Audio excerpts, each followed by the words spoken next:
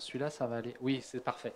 Euh, merci à tous. Donc, après les interventions ce matin qui nous permettaient de présenter différents projets, on a souhaité cet après-midi euh, orienter les débats autour d'une table ronde. Je vais, euh, présenter les, différents participants et puis faire un petit mot d'introduction. ensuite, pour, pour essayer de, de poser les, les enjeux de cette table ronde. L'idée, c'est que chacun des participants va présenter succinctement euh, les réalisations dans le domaine qui nous intéresse, c'est-à-dire euh, donc la collaboration entre les institutions patrimoniales et la recherche à travers euh, les données numériques. Et puis ensuite, l'idée, c'est qu'on puisse interagir avec vous, la salle, entre les différents intervenants, et puis qu'on puisse discuter pour essayer de réfléchir justement à ces nouvelles formes de collaboration qui peuvent exister. Et puis vous avez, euh, vous avez vu ce matin, je pense, euh, à travers les trois, les trois interventions, justement ces différentes formes de, collaboration. Hein. Je crois que euh, à chaque fois, il, y avait, y avait bien cette, cette dimension qui était, qui était présente. Donc je vais commencer par, par la gauche. Donc Jean-Luc Minel, donc professeur de linguistique, ancien directeur de Modico, ancien euh, président du conseil scientifique du Manum. Toujours, jusqu'à décembre, hein, c'est ça Encore deux ans. Encore deux ans, d'accord. Et euh, qui nous, a fait euh, l'amitié d'être présent. il pourra nous, faire part de son expérience au sein du, LABEX qui s'appelle Les passés dans le présent, qui est donc un LABEX qui était entre autres mené par l'Université de Nanterre Paris 10 et qui intégrait un certain nombre d'institutions de conservation, je le laisserai faire la liste parce que j'ai peur d'oublier euh, certaines institutions et de, froisser euh, des susceptibilités, donc euh, je vais éviter de faire des impairs. À côté, Claude Mussou. Claude est, responsable de l'INATEC, qui est le, service au sein de l'Institut national de l'audiovisuel en charge de la mise à disposition des archives du dépôt légal au-delà de l'ensemble de la collection euh, euh, de, l'INA, euh, auprès des chercheurs, à travers donc la salle de lecture de la BNF, que certains d'entre vous ont peut-être déjà fréquenté, mais pas uniquement, puisque l'INA propose aussi une, possibilité de visualiser ses archives à travers l'ensemble de la France, à travers ce qu'on appelle les PCM, les postes de consultation multimédia. Et puis donc, Claude pourra aussi nous faire part de son expérience dans euh, le domaine de la collaboration entre les chercheurs et la donnée, puisqu'elle a été très longtemps euh, responsable du dépôt légal du web à l'INA, au cours pendant, pendant, lequel elle a pu mettre en place un certain nombre d'expériences dont elle nous fera part tout à l'heure.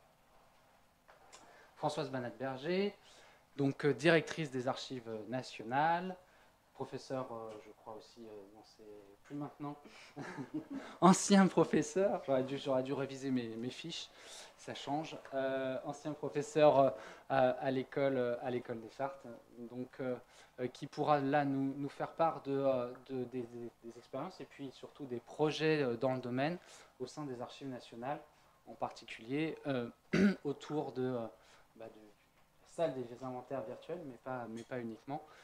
Autour de l'ensemble des projets qui ont vu le jour autour, de, autour du, nouveau, du nouveau site de Pierrefitte.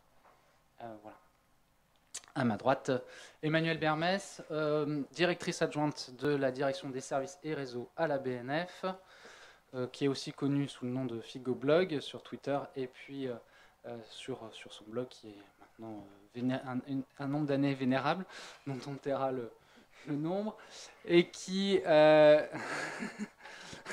et qui viendra nous, parler des expériences à la BNF, alors qui prolongera euh, certainement euh, euh, les, discussions que, Jean-Philippe et Pierre-Carl ont pu commencer à vous préparer, mais qui parlera plutôt de prospective que, de ce qui se fait déjà, et qui, doit, je dois dire aussi, s'intéresse beaucoup à cette question, puisque elle va bientôt faire peut-être une thèse dans ses augustes murs sur cette question. Donc d'où l'intérêt qu'elle a pour, pour la question. Et puis le dernier intervenant, Antoine Courtin, donc vous excuserez les, cernes, mais qui a quand même réussi à nous rejoindre après un périple d'une nuit. donc, qui est ingénieur de recherche à l'INHA, responsable du pôle documentation, si j'ai bon souvenir, de l'INHA, et qui lui aussi nous fera part. Alors, on a voulu qu'il y ait des chercheurs, mais aussi des ingénieurs, et c'était important pour nous qu'il y ait les différents acteurs de la recherche autour de la table. Et qui nous fera part donc du coup de sa position d'ingénieur euh, par rapport à cette question, à la fois donc dans son expérience à l'INHA et aussi euh, dans son expérience euh, dans le cadre des LabEx, les passés dans le présent.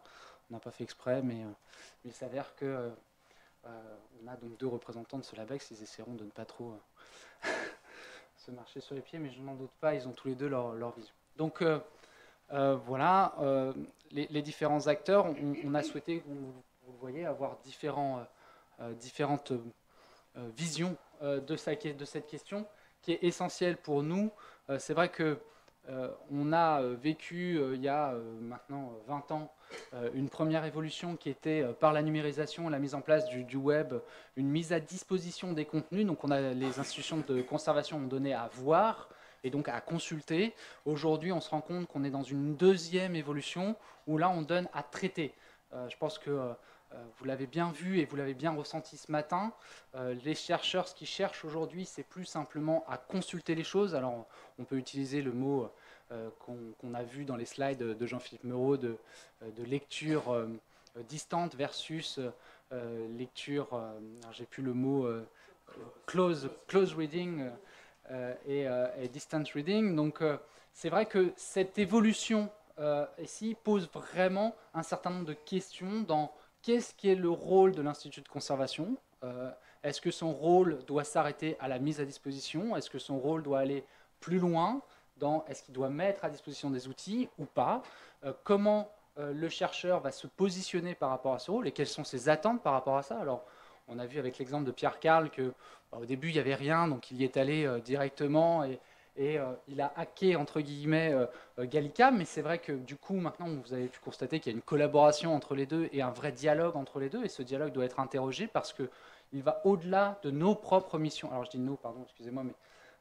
étant Cascatina aussi, je, fais partie de ce monde, mais il va au-delà des missions des institutions de, conservation, et c'est vrai que ce lien, il, est forcément interrogé à travers cette, évolution, et c'est bien tout l'objectif de cette table ronde, euh, de pouvoir euh, étudier comment on peut mettre en place ce lien, euh, jusqu'où on va pouvoir travailler d'un côté et de l'autre.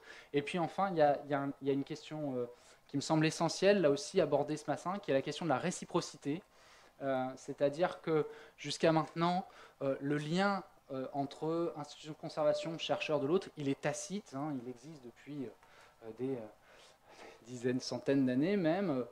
Il y en a un qui met à disposition, l'autre qui utilise, et puis ça s'arrête là. Euh, grosso modo, il n'y a pas d'échange plus que, celui-là, alors que là, on voit bien euh, que euh, l'échange et le dialogue est quelque chose d'essentiel, essentiel pour prendre en compte le corpus, parce que on prend de la masse, et, et du coup, il faut pouvoir maîtriser ce corpus en tant que chercheur. Or, c'est bien les instituts de conservation qui maîtrisent ce corpus, et on verra comment justement l'institut de conservation peut aider le chercheur dans cette maîtrise.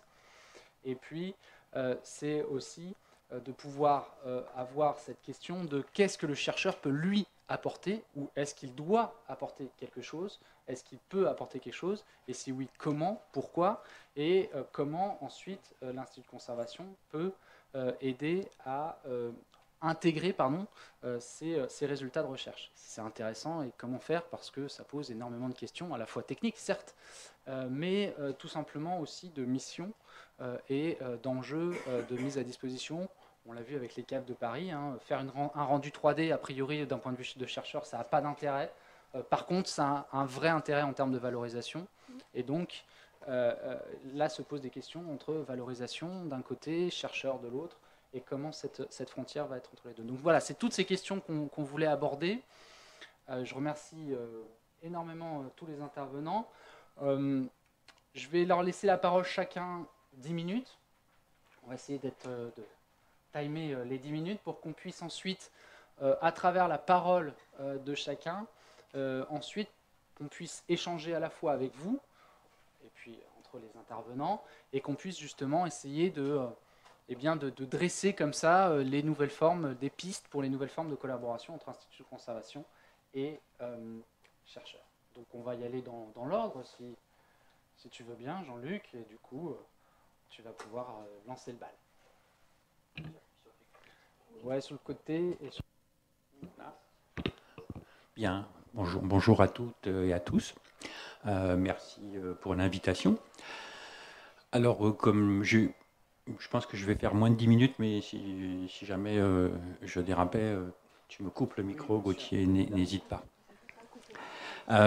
donc je, vais faire déjà me présenter un petit peu en termes de formation pour que vous, vous sachiez d'où je viens quand même, parce qu'en fait, j'ai eu une double vie, même une triple vie. Donc il se trouve qu'il y a très longtemps, j'étais ingénieur d'études à l'Institut de recherche et d'histoire des textes et j'ai beaucoup travaillé sur les manuscrits médiévaux. Donc j'ai un passé aussi dans cet aspect-là. Mais ensuite, euh, je, suis devenu professeur de sciences du langage, mais plutôt, euh, on va dire, sciences du langage, traitement automatique des langues. Donc j'ai toujours travaillé sur euh, l'articulation entre avec de l'instrumentation et des très grands corpus, euh, très grands corpus au sens linguistique du terme. Hein. On n'est pas dans le big data, on est quand même sur des, choses euh, qui sont manageables. Et donc, euh, depuis très longtemps, je travaille sur des textes. Alors, le, LABEX, dans lequel, c'est ce dont je vais parler à la demande de, de, Gauthier, le LABEX dans lequel j'ai été impliqué s'appelle les LABEX, les passés dans le présent. Et c'est un LABEC donc, qui a été euh, initié en 2013, dans lequel interviennent des institutions patrimoniales, le musée du Quai Branly, la BDIC, le musée d'archéologie nationale, et puis euh, aussi, en partie euh, la BNF, et puis des unités de recherche. Unités de recherche essentiellement en archéologie, en ethnologie, en ethnomusicologie, et en linguistique, puisque le laboratoire que je dirigeais à l'époque, qui s'appelle euh, Modico, modèle de dynamique corpus, est un laboratoire essentiellement donc, en, linguistique et aussi en partie en sciences de l'information et de la communication à l'époque. Et donc ce projet euh, du LABEX, c'était en partie de s'intéresser à des phénomènes de, mémoire, donc je ne vais, pas en, parler là parce que ce n'est pas exactement le sujet. Et la partie dans laquelle je me suis impliqué et qui est en relation avec euh, cette journée, c'est euh, à l'intérieur du LABEX un certain nombre d'unités, euh, que ce soit des institutions, je vais d'unités au sens unité de recherche ou institutions patrimoniales, une douzaine, on avait des projets, disons, de numérisation de données et d'exposition de ces données.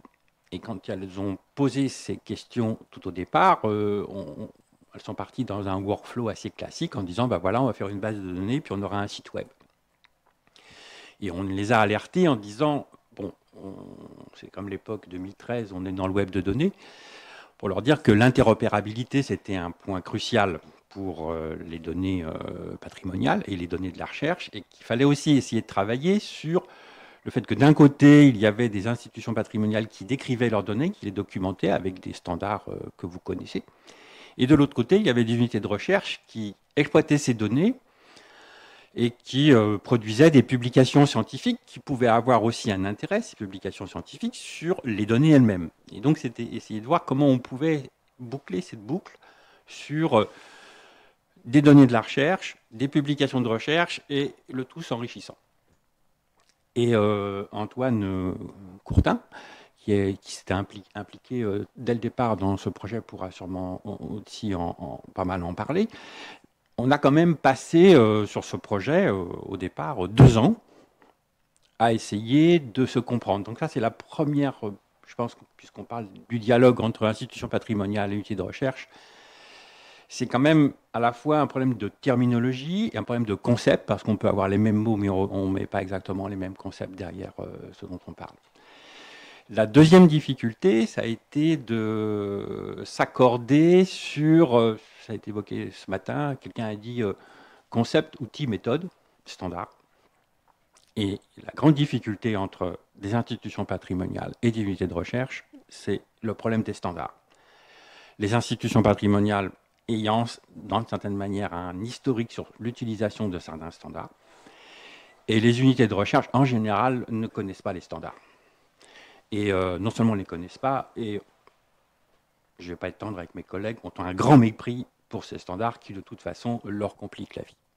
Donc c'est déjà un point important, peut-être puisqu'on parle de cette interaction, euh, c'est à mon avis une grande difficulté. Alors, ce LabEx, dans ce projet-là, a produit, euh, entre autres, des triple store RDF, c'est-à-dire avec cette volonté que ça soit interopérable.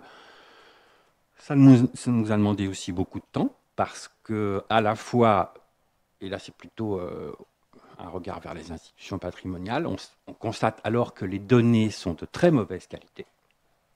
C'est-à-dire qu'elles ont été saisies avec euh, des strates et qui fait qu'on les a décrites de manière, euh, disons, peu fiable, ou en tout cas avec euh, des règles métiers locales qui ne passent pas la route avec les règles métiers des standards.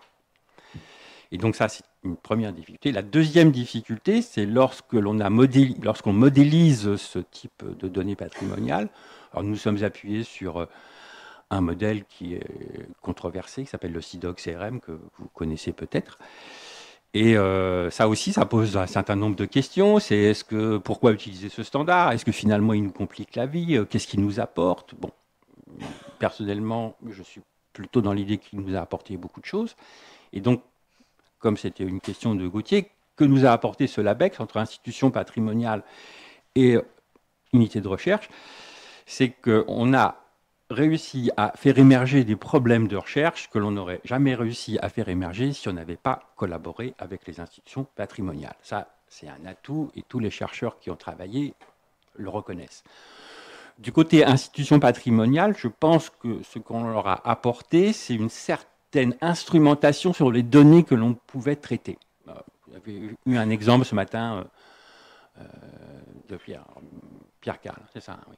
sur l'utilisation, sur la fouille de texte. C'est clair que c'est un très bon exemple en disant regardez ce qu'on peut faire avec des techniques de visualisation, avec des techniques de qui sont le repérage d'entités nommées. Donc ça, c'est aussi un deuxième atout. Et puis la troisième difficulté, c'est la difficulté par contre d'appropriation des nouvelles technologies, aussi bien par les institutions patrimoniales même, et que par les enseignants-chercheurs. Parce que ça a été souligné ce matin, la technologie évolue très vite, elle est, productrice d'outils extrêmes qui apportent des heuristiques de recherche extrêmement riches, sauf que se les approprier euh, est complexe pour des enseignants-chercheurs ou euh, pour euh, des membres des institutions patrimoniales. Et puis, voilà, je, ça va Oui. J'ai encore une minute. J'ai encore quelques temps. Il y, a, un deuxième projet. Là, j'ai plutôt parlé des projets là dans le Labex, de la construction de, disons, de, de triple store. Il y a un autre projet dans lequel euh, j'ai travaillé avec une chercheur qui à l'époque était à Modico, qui maintenant est, à Aix-Marseille. Et on a travaillé sur plutôt l'écosystème des institutions patrimoniales, essentiellement les musées. Alors, qu'est-ce qu'on appelle l'écosystème? C'est-à-dire à la fois les collections de données numérisées, mais aussi les réseaux sociaux, les blogs, et comment ceci est articulé ou pas articulé. Euh, sachant qu'en France, euh, pour le dire brutalement, c'est peu articulé. Et donc, on s'est intéressé de manière contrastive à ce qui se passait aux États-Unis, parce que là, il y a des, projets euh, qui sont plutôt innovants. Mais j'y étais en, juillet de cette année. Mais en fait, on fait à peu près le même constat quand même. Et ça, je pense que c'est peut-être aussi un élément de la table ronde.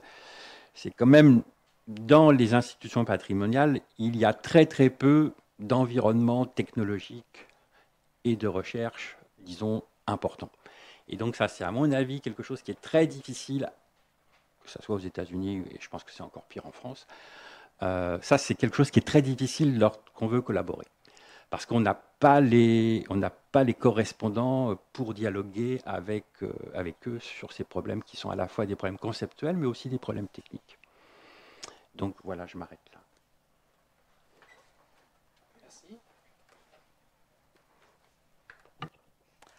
Euh, alors pour ma part, c'est pareil. Je ne sais pas si je vais tenir 10 minutes, mais donc euh, euh, Gauthier vous l'a dit, je suis responsable de l'INATEC, qui est le service qui met en consultation toutes les collections qui sont conservées à l'INA et qui ont la particularité d'être des sources assez récentes, hein, la radio, la télévision, le web. Et donc, et je ne sais pas si vous connaissez aussi un peu l'histoire de l'INA. L'INA créée en 74 à l'issue. Ça va pas? On m'entend pas? à l'issue de ce qu'on appelait l'éclatement de l'ORTF, pour conserver les sources produites par euh, les chaînes publiques dans un contexte de monopole public à des fins de réutilisation professionnelle, la disparition du monopole public, l'apparition de chaînes privées et tout d'un coup euh, la mobilisation de la communauté scientifique parce que les chaînes privées n'avaient pas de, lien avec l'INA et, le constat qu'il y avait une certaine partie de la production patrimoniale qui échappait à la conservation et donc l'extension du dépôt légal à la radio-télé en 92. Donc des sources très récentes collectées pour les besoins de la recherche euh, à compter de, de, de 95. Euh, donc à ce moment-là déjà, et c'était un peu avant le, tournant numérique, on s'est posé la question de l'exploitation de ces sources par la recherche. Et très tôt, parce que la radio et la télé sont des médias dits technologiques, hein, qui ont besoin d'une médiation technique pour qu'on puisse en lire les contenus euh, euh, archivés, euh, on s'est posé la question de l'appareillage, de l'instrumentation et de la calculabilité des données et de ce que Bernard Stiegler, qui nous a accompagnés un temps, appelle l'organologie des savoirs. Donc très tôt, on s'est posé ces questions-là. Gauthier l'a dit aussi, il y a un lien organique hein, entre la recherche et puis, et puis les institutions patrimoniales. Euh, Bruno Bassimon, qui a fait aussi un bout de chemin avec nous et dont vous, avez tous déjà sans doute lu le livre qui vient de sortir à l'INA qui s'appelle euh, Patrimoine et numérique. Euh, l'habitude de, souligner, a l'habitude de souligner que c'est pas tout à fait anodin que l'ordonnance de Montpellier et le et la mise en place du dépôt légal en 1537 et, précède de peu euh, la création du Collège des lecteurs royaux qui est devenu le Collège, de, Collège de France. Parce qu'il y a un lien vraiment organique et que nous, institutions patrimoniales, on constitue des collections pour qu'elles soient euh, exploitées euh, par les chercheurs.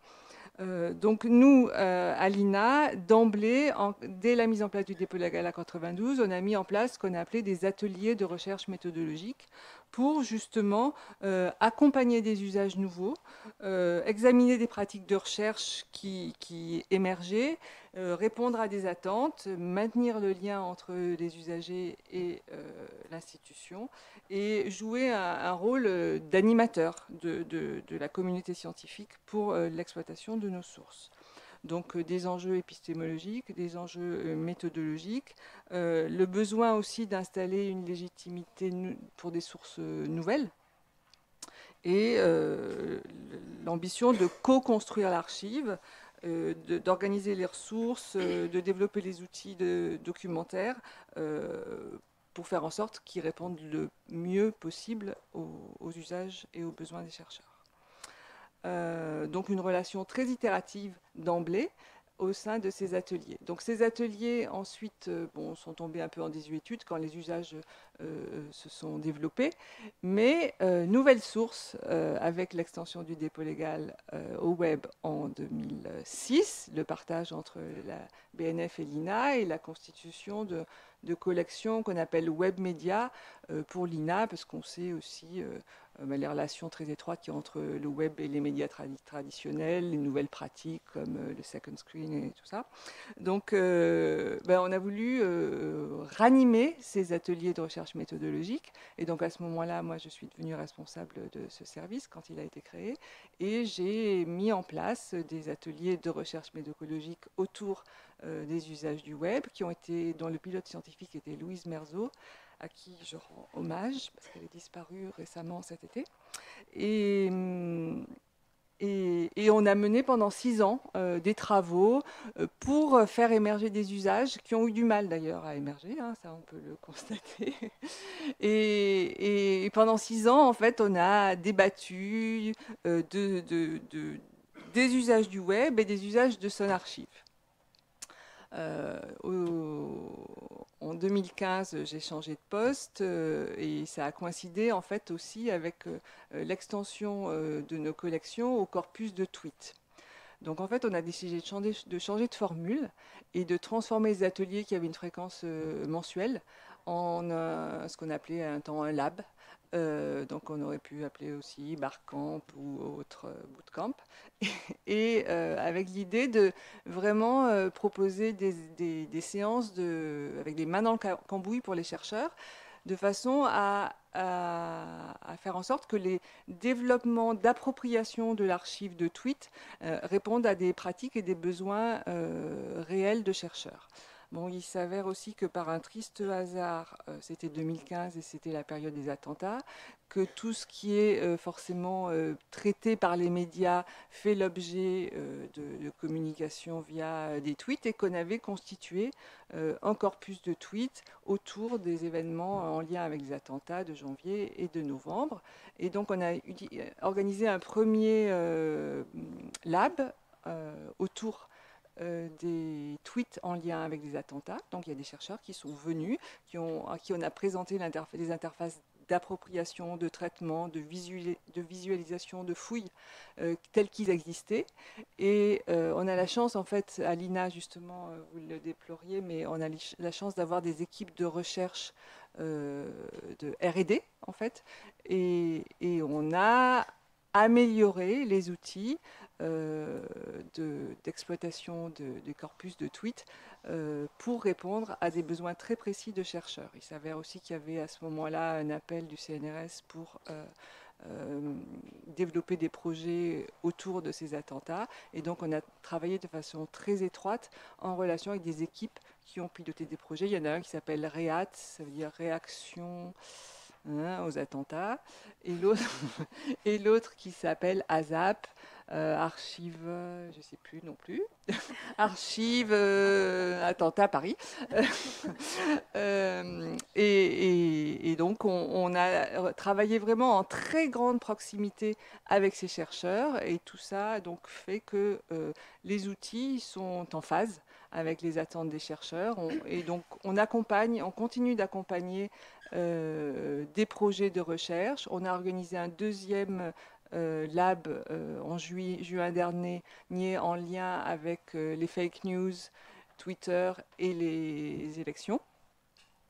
avec toujours cette même perspective et ambition de, bah, faire d'avoir une, relation très riche et très fructueuse entre nous institutions patrimoniales euh, les outils qu'on développe pour l'exploitation de nos collections et les chercheurs qui ont des attentes et des besoins et qui formulent euh, ces attentes et ces besoins dans ce, dans, ce cadre.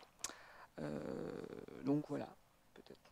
Est-ce qu'on pourra poser des questions voilà. Merci Claude. bonjour, bonjour à tous. Alors pour les, archives nationales, euh, ces questions se sont posées un peu après, c'est une histoire un peu différente. Donc les, humanités numériques ne sont, pas une fin en soi, mais un magnifique euh, potentiel en fait, euh, à partir, pour qu'à partir de connaissances, d'expertises particulières, d'innovation, de nouveaux outils, de nouveaux usages, de nouveaux services, des, choses nouvelles puissent être mis au service de nos publics en ouvrant en fait euh, des possibilités nouvelles d'exploitation et d'exploration de, nos ressources et, euh, leur ouverture, j'y reviendrai. Parce que nos ressources, très majoritairement, il s'agit de ressources encore papier, euh, en gros, on a quand même une masse d'à peu près 350 km d'archives papier. À côté de ça, on a 8 euh, millions d'images en ligne de fonds numérisés, c'est-à-dire une goutte d'eau dans un océan, aussi importante soit-elle. Et puis on a des ressources numériques que constituent, j'y reviendrai, ce qu'on appelle nos inventaires, nos référentiels, nos notices producteurs.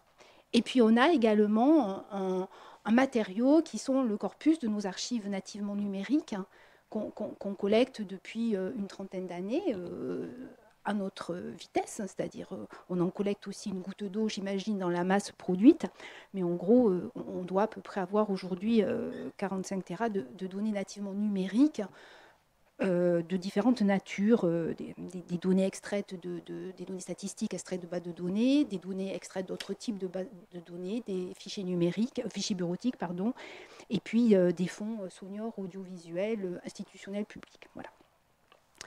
Euh, quand je parlais de, nos publics, alors c'est qui nos publics? Alors nos publics traditionnels, c'est nos publics en salle de lecture, hein, c'est-à-dire des gens qui viennent encore consulter des archives papier. Euh, ces publics euh, en salle de, lecture, il se trouve que par rapport au, reste du réseau des archives euh, publiques, c'est-à-dire les archives départementales, aux archives nationales, on a gardé encore un, fort, un fort, pourcentage hein, de, publics scientifiques, de chercheurs, d'étudiants, de professionnels de l'information, de documentaristes, à peu près dans tous les domaines euh, des sciences humaines et, sociales, et ça s'est plutôt ouvert depuis l'installation des, archives nationales à, Pierrefitte de, ce point de vue-là. également, nos publics en salle de lecture, c'est des publics à la recherche de leurs droits, hein, des citoyens, notamment dans le domaine, par exemple, de, la nationalité. Euh, ce sont des, fonds considérables qu'on conserve euh, là-dessus. Euh, nos publics, c'est aussi euh, des, scientifiques qui réutilisent, on y reviendra aussi là-dessus, nos, archives pour leurs recherches. Par exemple, on a un, partenariat depuis un certain temps avec Météo France qui consiste en fait à numériser euh, toutes les observations qui ont été faites au 19e siècle sur la, météo et ensuite transformer ça en, données dans des bases de données qui permet en fait de faire de la prédiction sur le long terme de ce que va devenir le, climat. Donc, on avait déjà euh, euh, ce, type d'usage. Nos publics, euh, c'est nos jeunes publics, c'est-à-dire les, scolaires et les étudiants, où là, les outils numériques, c'est plutôt la mise en place de, plateformes à distance qui permettent de, travailler à distance sur des, contenus pédagogiques, de déposer des ressources, d'échanger entre des classes distantes. Et c'est dans ce cadre-là le développement de plusieurs projets qu'on a de, de, réalisation qui commencent de e-learning. C'est le public de nos expositions, donc avec tout ce qui est outils de médiation numérique qui se met à prendre une place de plus en plus importante dans nos, expositions. Et au-delà, c'est même le grand public, donc le public cultivé, mais voir les touristes par exemple, en ce moment, on travaille avec, euh, euh, le HESS et une société qui s'appelle euh, Narrative, dans le cadre des appels à projets innovants du ministère de, la Culture, à une, application qui s'appelle Ça s'est passé ici. Je ne sais, pas si, certains, vous devez connaître quelque chose qui s'appelle Les gens de la Seine, c'est un peu la suite. Et voilà, et là, on s'adresse à partir de nos ressources vers le grand public, vers les touristes. C'est aussi quelque chose d'important. Alors face à ça, dans un premier temps, pour nous, euh, pendant longtemps déjà, c'était très beau euh, d'en être à la mise à disposition, parce qu'on partait d'assez loin.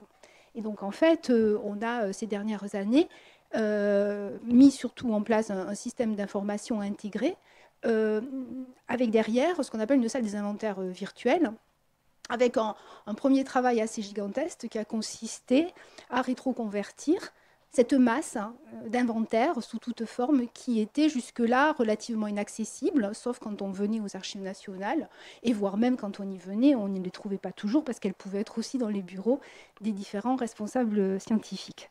Donc, euh, en fait, on, a, euh, on, a, donc numérisé, rétroconverti, euh, et c'est pas fini, à peu près 25 000 inventaires. Donc, c'est une, ça, c'est un, et ça a été fait dans un premier temps tout simplement pour permettre ben, à, nos usagers des salles de lecture de pouvoir préparer leur travail en amont, de pouvoir savoir davantage de ce qu'on avait, donc de pouvoir potentiellement élargir les publics.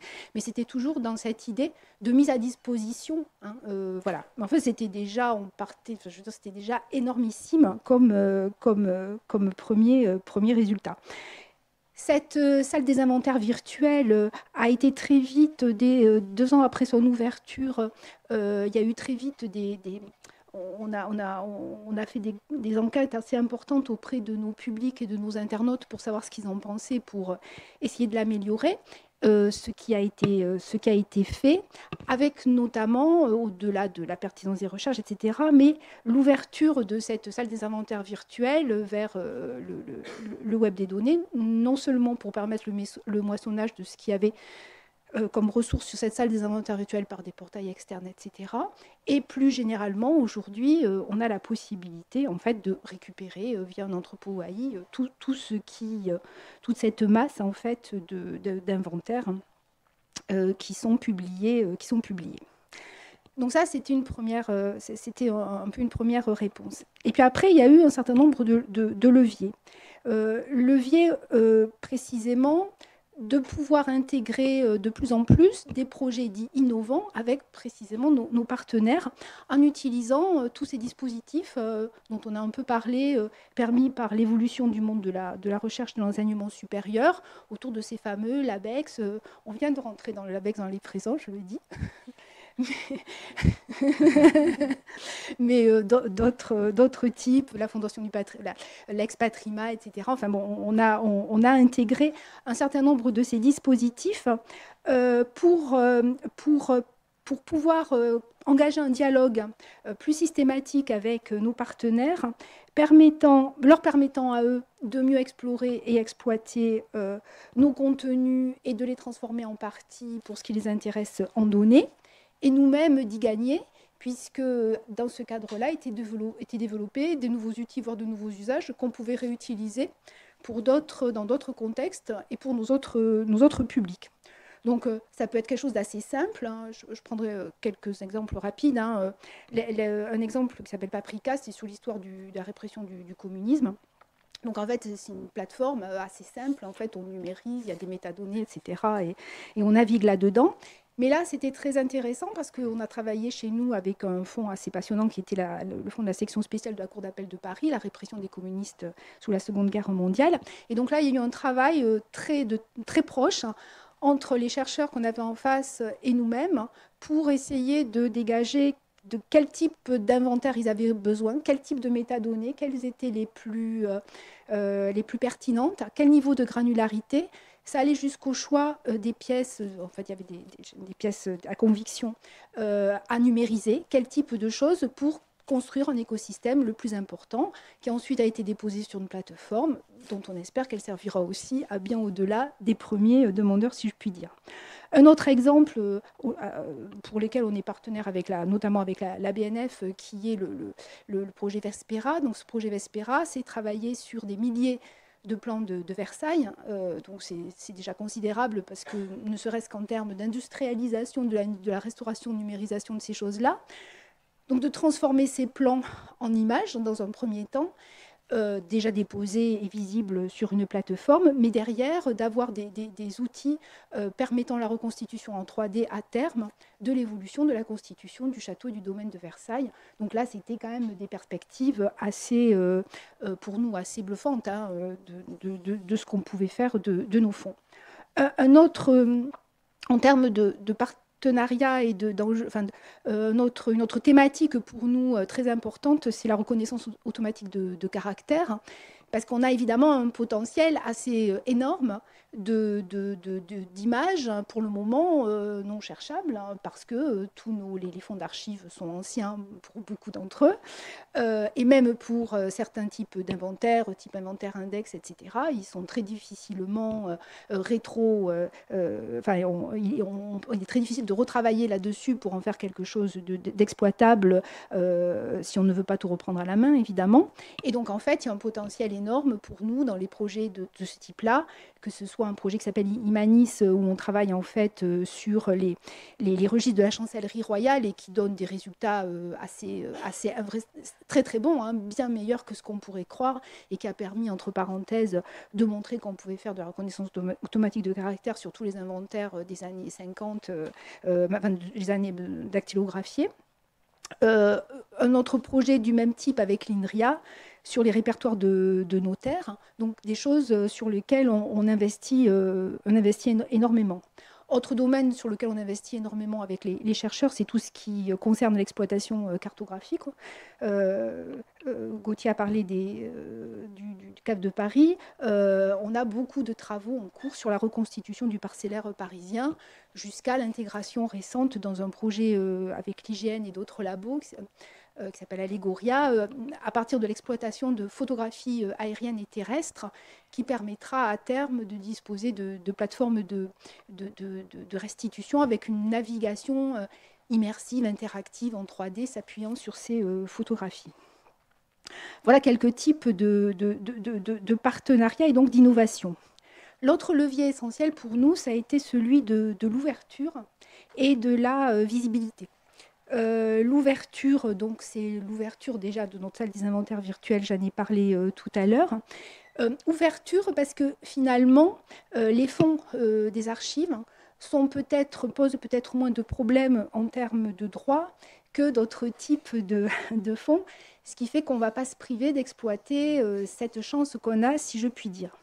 Donc ça, ça, du coup, ça a commencé par un partenariat très riche avec Wikimedia, euh, qui ça a été tout simplement dans un premier temps d'alimenter les notices Wikipédia, etc. Mais ensuite, c'est allé jusqu'au déversement chez eux sur Wikimedia d'un certain nombre de documents des archives nationales et aujourd'hui d'un projet d'alignement de nos 15 000 notices producteurs, donc euh, de nos notices d'autorité, comme on dirait en bibliothèque, avec euh, les, les notices de Wikipédia. Donc c'est quelque chose sur lequel on on, investit beaucoup parce que la, visibilité et la réutilisation sur euh, les bases de Wikimedia n'ont rien à voir avec ce qu'on peut faire si on va directement sur la salle des inventaires virtuels. Et donc, euh, on ne s'est pas privé euh, de, prendre le levier de la, réutilisation, d'autant que la, législation nous pousse très fortement à aller là-dessus avec donc le, fait de décider de favoriser le plus possible la réutilisation de nos, ressources par une décision de gratuité.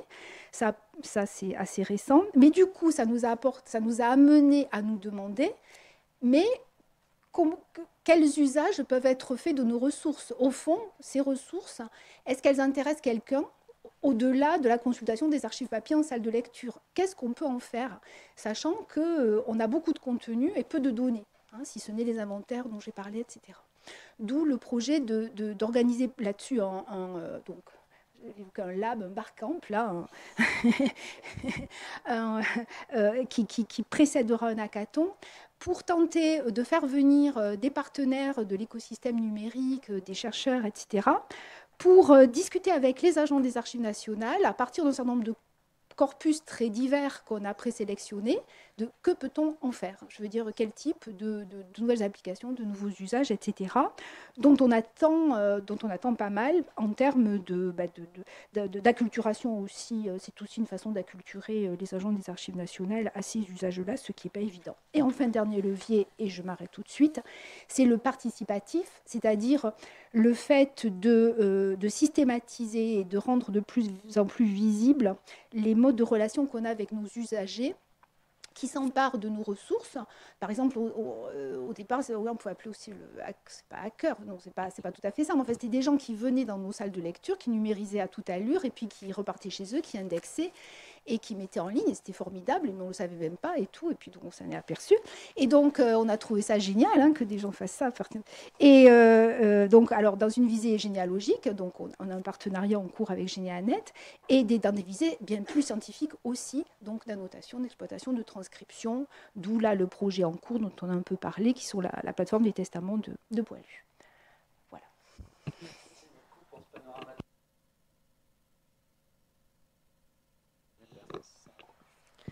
Alors, du côté de la, BNF, euh, la question de la collaboration euh, avec les chercheurs, c'est une question qui est complètement organique euh, dans notre établissement, bah, de la même façon que pour l'INA et pour les archives nationales. On est, on est hormis le, Haut-de-Jardin, qui a un statut un peu particulier, on est avant tout une bibliothèque de recherche avec les collections qui, qui, correspondent.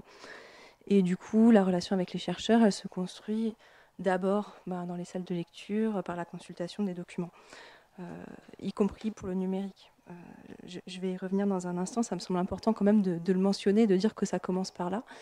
Euh, même si on a, bien sûr, à travers le temps, eu, tout un tas d'autres modalités de, collaboration avec les chercheurs, que ce soit à travers des projets, que ce soit à travers des projets type ANR, l'ABEX, etc., que ce soit dans le cadre de dispositifs comme par exemple les chercheurs associés ou invités qui sont des gens qui essentiellement viennent travailler sur les collections.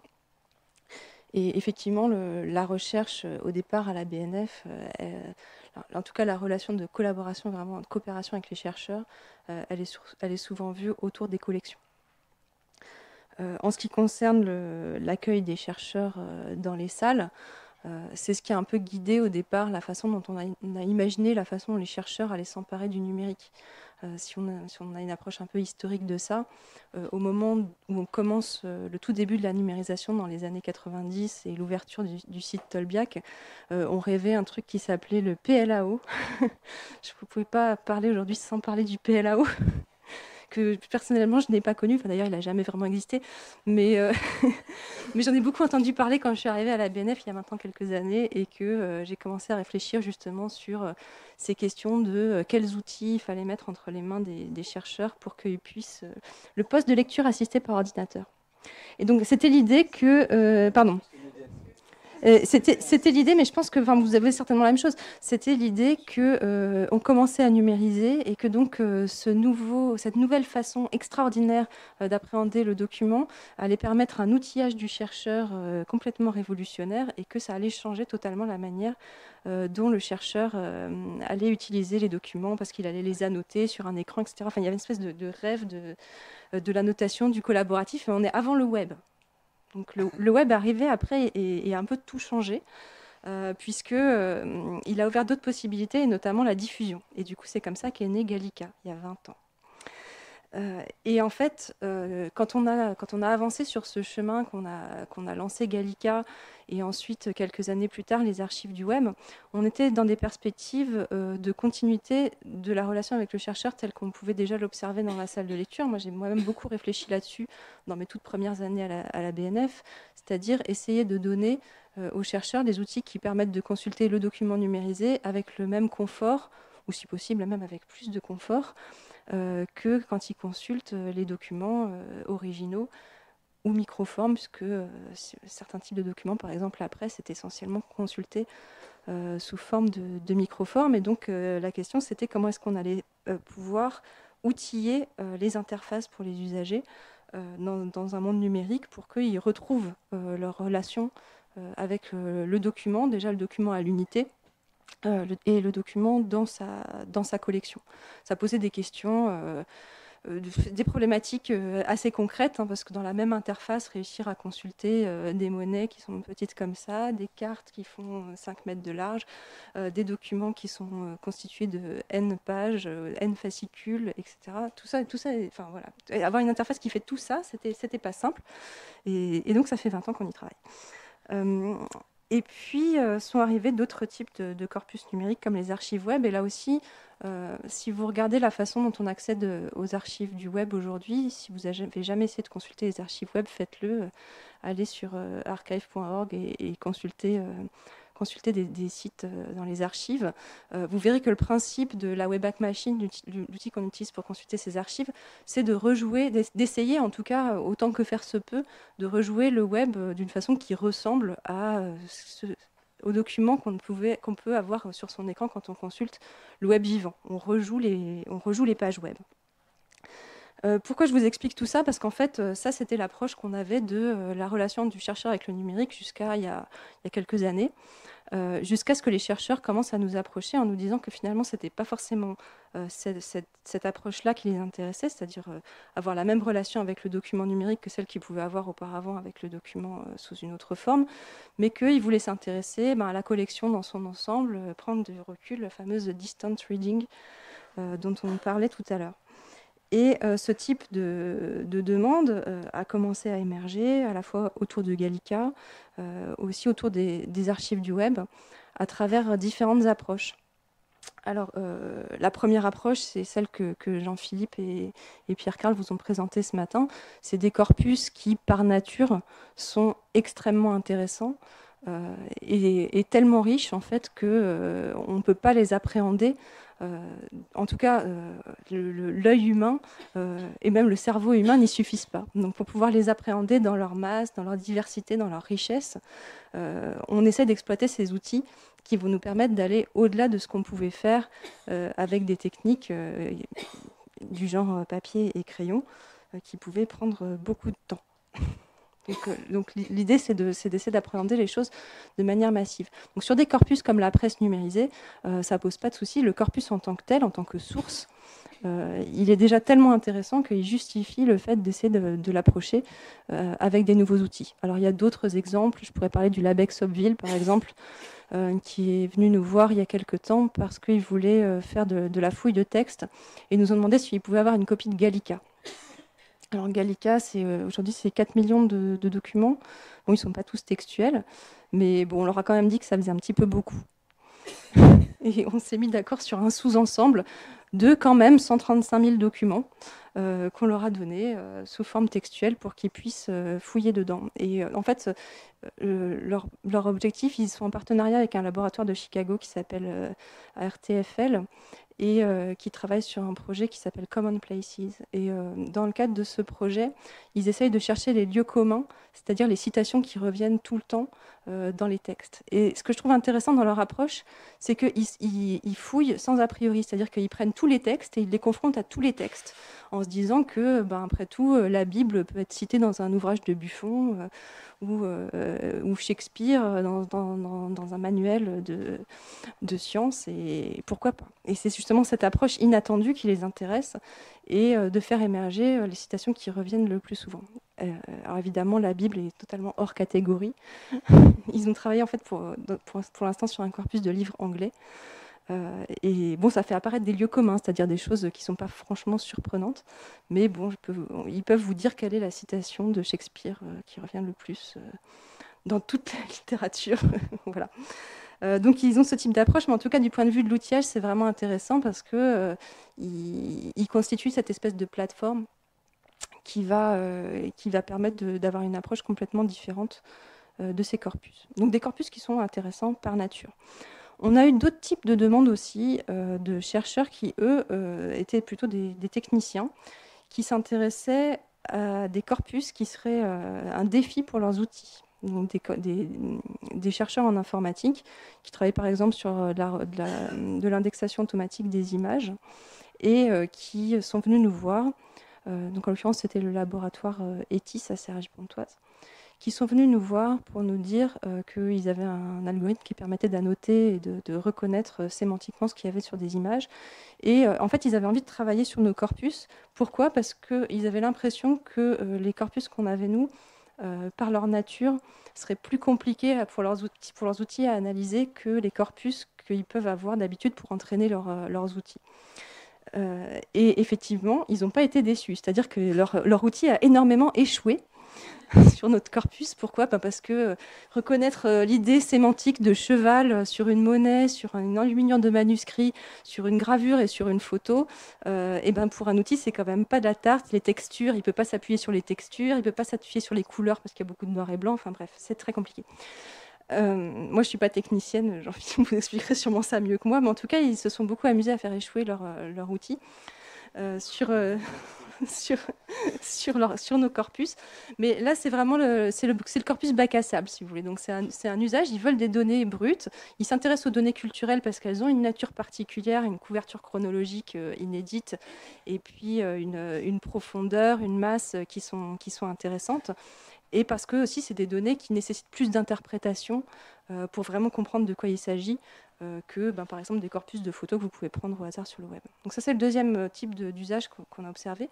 Et le troisième, c'est les cas où le corpus est utilisé comme une interface entre le chercheur et son objet de recherche. Alors, une, est à l'interface entre les deux. J'essaie de m'expliquer en prenant comme exemple un projet qu'on a conduit justement dans le cadre du LABEX, les passés dans le présent, où la question, c'était euh, autour de, des célébrations de la Première Guerre mondiale, comment est-ce que les chercheurs euh, enfin, comment les, gens sur le web, en fait, euh, s'approprient les corpus numérisés par la bibliothèque.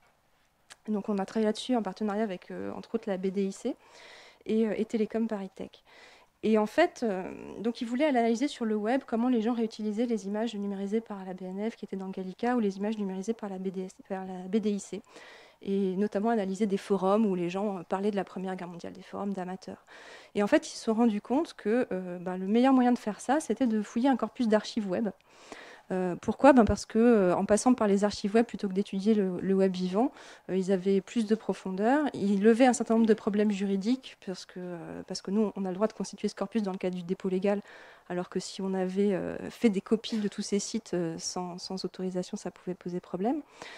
Et c'était aussi intéressant parce que c'était un corpus qui était, qui était géré d'un point de vue de gestion de la collection curated, comme on dit en anglais. Je suis désolée, j'ai trop fait cette présentation en anglais, j'arrive plus à la faire en français.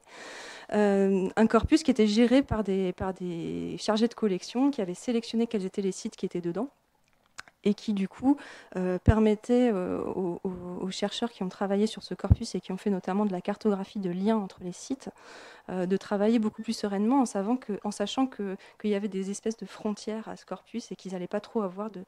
C'est très difficile de tracer des frontières sur le web, donc ils n'allaient pas trop se retrouver sur des sites qui n'avaient aucun rapport avec la, la, Première Guerre mondiale. Et donc ils ont fouillé les archives web, non pas pour fouiller les archives web, mais parce qu'ils avaient une question de recherche. Qui était une autre question de recherche et qui, et, qui a trouvé une réponse par l'intermédiaire de ce corpus. Donc voilà un petit peu les trois études de, cas euh, qui, ont conduit à la naissance du projet Corpus, euh, dont, Jean-Philippe euh, vous, a parlé ce matin. L'objectif de, ce projet étant de se dire que à chaque fois qu'on nous apporte ce type de questions, ce type de problématiques, qu'on vient nous voir en nous disant je veux un corpus massif, brut pour faire tourner mes outils dessus, quel que soit le cas d'usage dans lequel on est, que la BNF soit capable d'avoir une réponse qui soit euh, déjà standard, parce qu'à l'heure actuelle, euh, à chaque fois qu'un chercheur vient nous demander un corpus, on, est là à se demander euh, au fait qui est-ce qui doit lui répondre, par quelle porte il entre, etc. Donc essayer d'avoir une, réponse organisée, et puis surtout de pouvoir passer à l'échelle, parce qu'on pense malgré tout que ces demandes vont être de plus en plus nombreuses. Pour l'instant, on arrive encore à peu près à répondre à tout. Euh, mais il viendra un moment où euh, on sera soit dans une logique du premier arrivé, premier servi, c'est-à-dire si quelqu'un nous le demande et qu'on a du temps, ben, on dira oui. Et puis euh, celui qui n'est pas arrivé en janvier, qui est arrivé en novembre, eh ben, on lui dira non, on repasse dans trois mois. soit on sera dans une logique où on sera obligé de, sélectionner d'une manière ou d'une autre. donc, essayer d'avoir des process qui soient le plus organisés possible pour pouvoir servir le plus d'équipes de recherche possible sur la fourniture de ces corpus.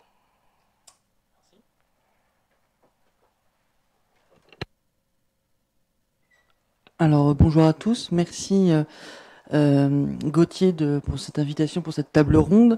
Euh, moi je vais parler, on va dire, au nom en tant qu'ingénieur, apparemment c'est mon rôle, et aussi à partir d'une institution qui est la mienne actuellement, qui s'appelle l'Institut national d'histoire de l'art, donc l'INHA, le H est très important pour différencier de l'INA, qui est finalement assez symptomatique des réflexions que nous avons aujourd'hui je fais juste une minute d'introduction sur l'INHA, euh, qui est une institution qui a une double tutelle ministérielle, le ministère de la Culture et le ministère de la Recherche.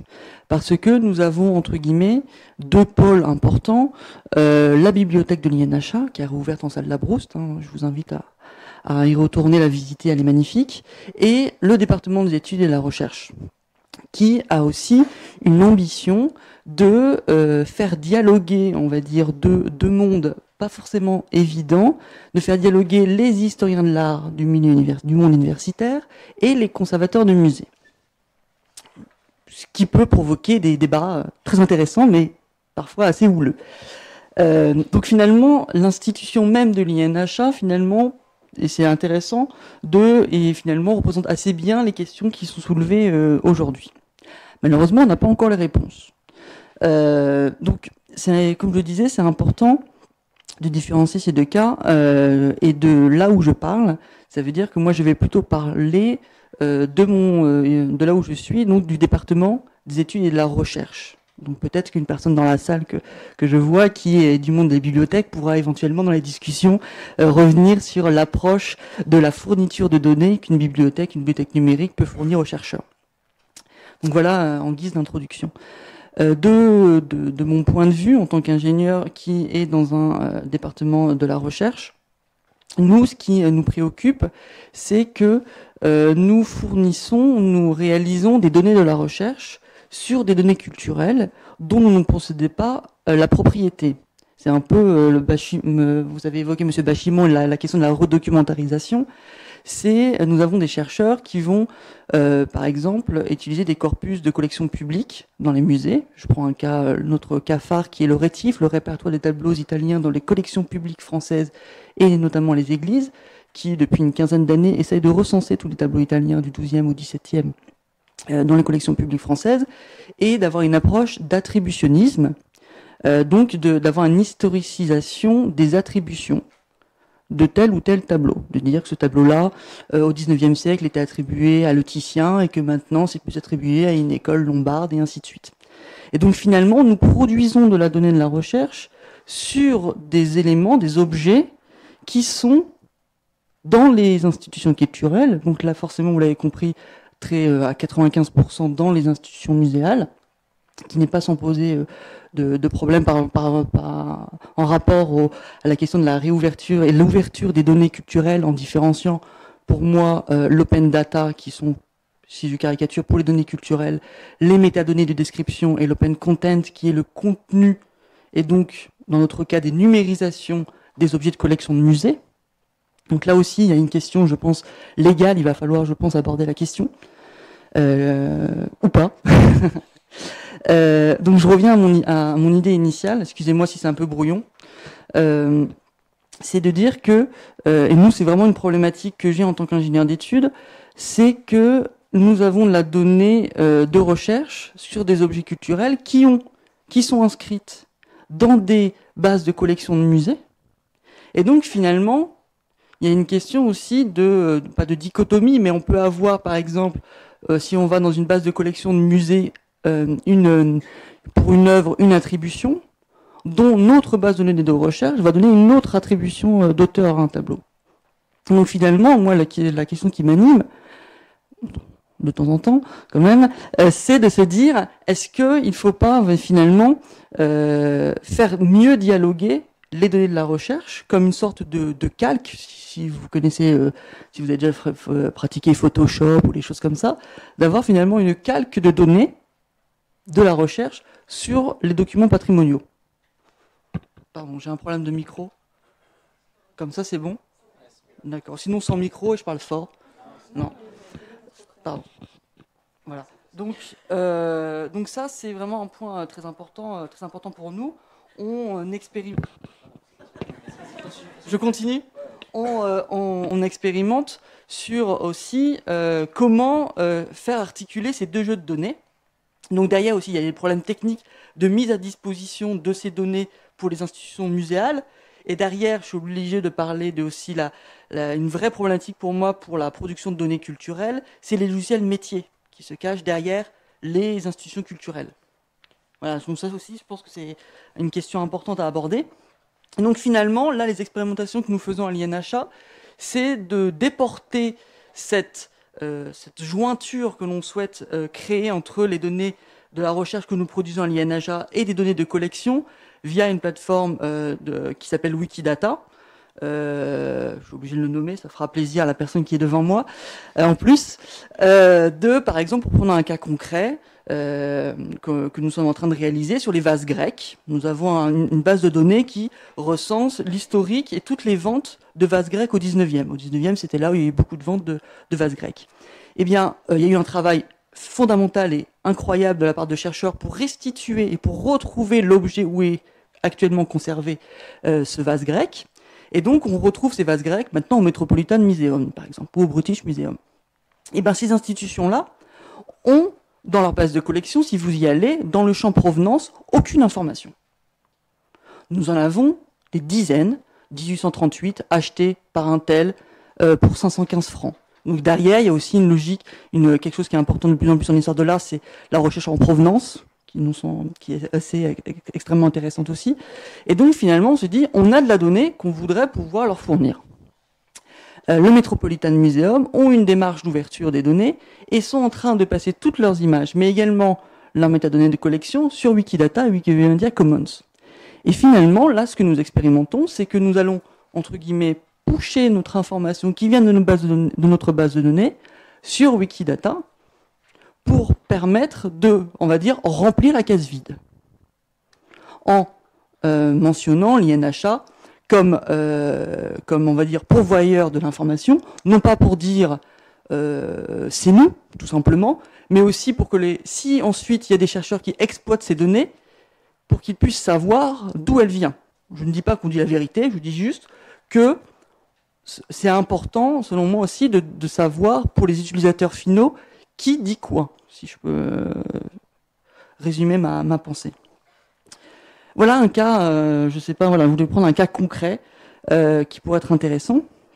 Et un autre cas aussi que nous avons réalisé, et là c'est aussi une réflexion que j'ai plus sur la question de, l'open data et de l'ouverture des données culturelles, et finalement se rendre compte que finalement les premiers, les, premières personnes qui peuvent bénéficier de l'ouverture des données culturelles, c'est les données culturelles elles-mêmes, pas forcément aussi les usagers externes. Et donc, à, ce, à, cette, réflexion-là, nous travaillons avec une institution culturelle, la Cité de l'Architecture, qui euh, ont réalisé un dictionnaire très éditorial avec beaucoup de, de contenu éditorial sur les architectes du XXe siècle. Et nous avons là aussi une base de données qui recense tous les élèves architectes qui sont passés à l'école des beaux-arts de 1800 à 1969. 19 000 noms avec toutes les données très structurées sur il est passé à telle année dans tel atelier, il a eu tel concours, telle médaille. Il nous reste trois minutes. Et, euh, donc ces informations-là, nous les avons interfacé via un protocole tout simple. Là, c'est vrai que l'INHA, on a une logique de petits pas. Hein. passer après la BNF, c'est toujours compliqué.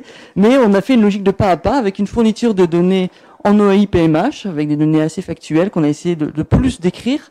Je pense qu'on peut pallier aussi une fourniture de données, euh, entre guillemets, plus faible, avec une très bonne documentation. Et ça, c'est un point très important aussi, c'est documenter la donnée qu'on va exposer. Pour faciliter l'appropriation et surtout aussi ne pas hésiter à dire ce qu'on n'a pas. Je pense que c'est un point important et c'est dur aussi pour les institutions de dire on n'a pas fait ça, on n'a pas ça. Mais on, voilà, c'est mais c'est vrai que c'est assez logique d'un point de vue communication. Euh, on me dit souvent non non, il faut pas dire ce qu'on fait pas. C'est important pour les utilisateurs de dire ce qu'on ce qu'on ne fait pas aussi pour pour ne pas on va dire l'orienter sur des sur des mauvaises choses. Et donc, avec le, le, le de l'architecture, maintenant, si vous allez sur leur, sur, leur site web, vous allez avoir les descriptions de, une approche très éditoriale, une biographie très complète et très critique de euh, l'architecte, et vous allez avoir à gauche toutes les informations qui sont moissonnées, récupérées chaque jour s'il y a des modifications dans nos bases, de toutes les données factuelles, qui étaient l'approche initiale de notre base de données. Et là, et je termine là-dessus, c'est intéressant aussi de voir que finalement, on ne peut pas tout faire dans un programme de recherche, et souvent, on, va dire, on, on, fait un focus sur quelque chose, et si un autre programme de recherche fait sur un autre focus, si on double les focus, fait un peu double focal, euh, en plus je viens de changer mes lunettes, donc je suis très orienté lunettes, euh, c'est la question voilà, d'avoir une double focale euh, sur, euh, sur un même objet. Parce que euh, parce que donc là avec l'architecture on avait cette, approche éditoriale et nous une approche très donnée structurée. Nous ce qui nous manquait dans le dictionnaire c'était de dire et souvent on avait le reproche de c'est quand même un peu abscon de lire toutes les données structurées et comme ça en fiche d'identité. La cité de l'architecture apportait l'autre chose et nous on apportait l'autre versant j'espère que j'ai pas été trop long merci euh, merci Antoine c'est bon, ça a l'air de là.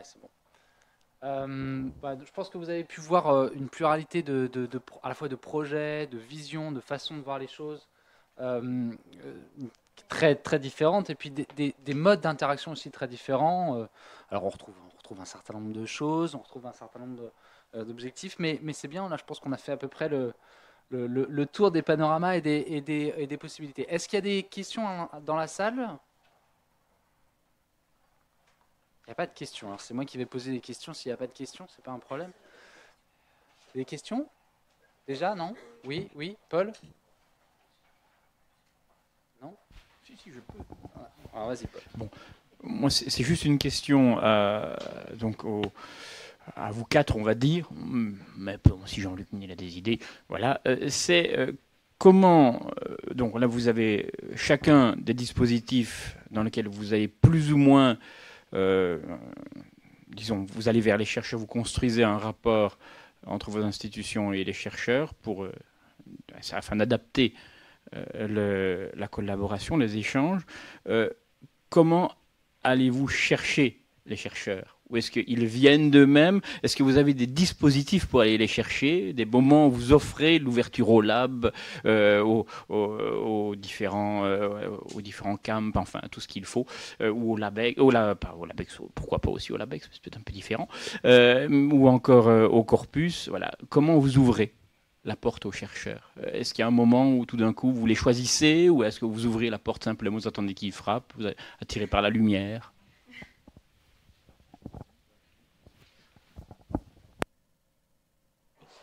Alors, on essaye, donc on, allume la lumière souvent et on, communique euh, via euh, euh, ce que tout le monde utilise aujourd'hui, à savoir les réseaux sociaux. À l'Inatech, on a ouvert un compte Twitter très récemment, on a ouvert un, un blog sur hypothèse où on essaye d'exposer au mieux nos collections.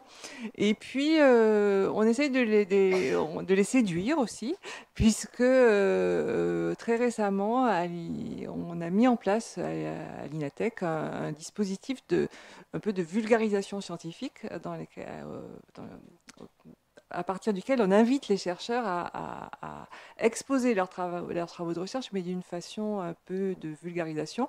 On a appelé ça Bref, je cherche. Et sur, sur le, c'est sur YouTube, c'est sur ina.fr. Donc, on, invite le chercheur à présenter euh, à travers une exposition virtuelle euh, sa démarche de recherche et les sources qu'il a utilisées pour euh, produire son travail. Et puis, sur le modèle un peu, on, on peut le dire, hein, on est entre nous, on s'est inspiré de ma thèse dans 180 secondes. On lui demande de pitcher en trois minutes son travail et on en a fait une chaîne YouTube. Donc euh, voilà, et, c'est notre façon un peu de, faire de la médiation de nos collections auprès des chercheurs et à la fois aussi euh, d'avoir un truc dans l'autre sens, d'avoir des chercheurs qui valorisent nos collections à travers d'un dispositif. Ça construit l'ordre du relationnel, puis vous arrivez alors à bâtir euh, des, allers-retours, des échanges. Alors c'est assez récent, mais on espère en tout cas que ça va prospérer.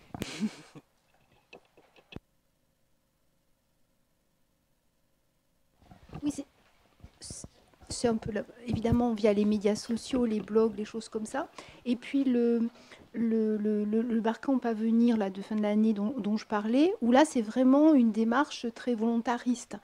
C'est-à-dire, euh, de, on a mis aussi en place un comité des usagers, hein, mais euh, qui, est, qui reste encore les usagers en salle de lecture, donc on a du mal à, se détacher de, de ça. Mais là, par contre, c'est on est allé chercher euh, tous les partenaires qu'on avait pu avoir dans différents projets euh, numériques, comme ceux que j'ai euh, évoqués évoqué tout à l'heure, plus bah, différents, différentes institutions aussi proches qui, ont eu ce genre d'expérience, de, de, pour réellement confronter des agents des archives nationales, des corpus et ces chercheurs et de voir si ça crée euh, quelque chose, si euh, au-delà des, euh, des, suggestions qu'on peut faire nous-mêmes par la connaissance qu'on a de nos corpus, on peut arriver à élaborer des objectifs un peu plus précis.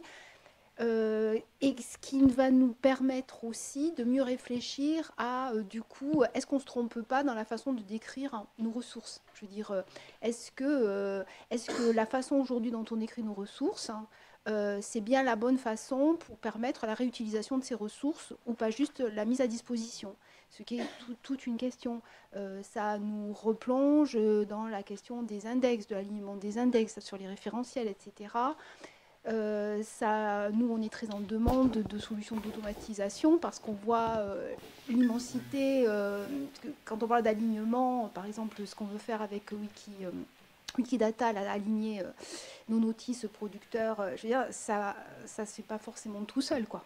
Donc là, par exemple, pour ça, on va faire un dataton où on va faire venir des tas de gens pour le faire, tout simplement, parce qu'on euh, ne peut pas le faire nous, enfin, on ne peut pas le faire uniquement nous. Voilà, tous ces, toutes ces choses-là.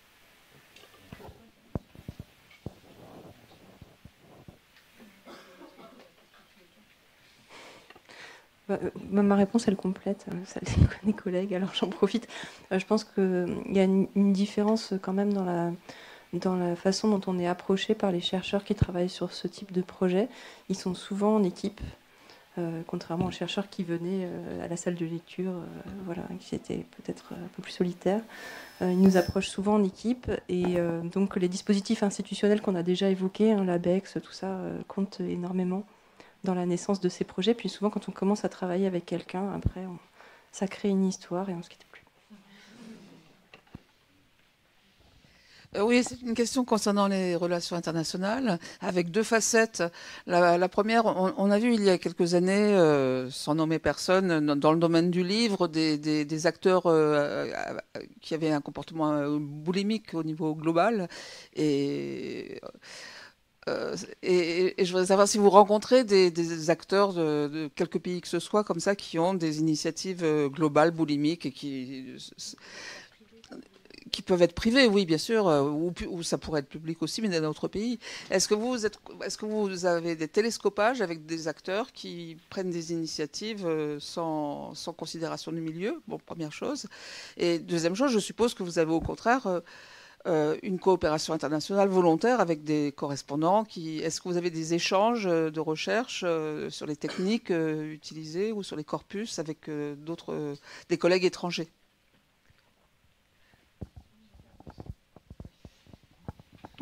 Quand vous parlez d'un gros organisme international qui est très omniprésent dans le domaine des contenus, je suppose que vous voulez parler d'Internet Archive, hein, qui a essayé de moissonner l'intégralité du web.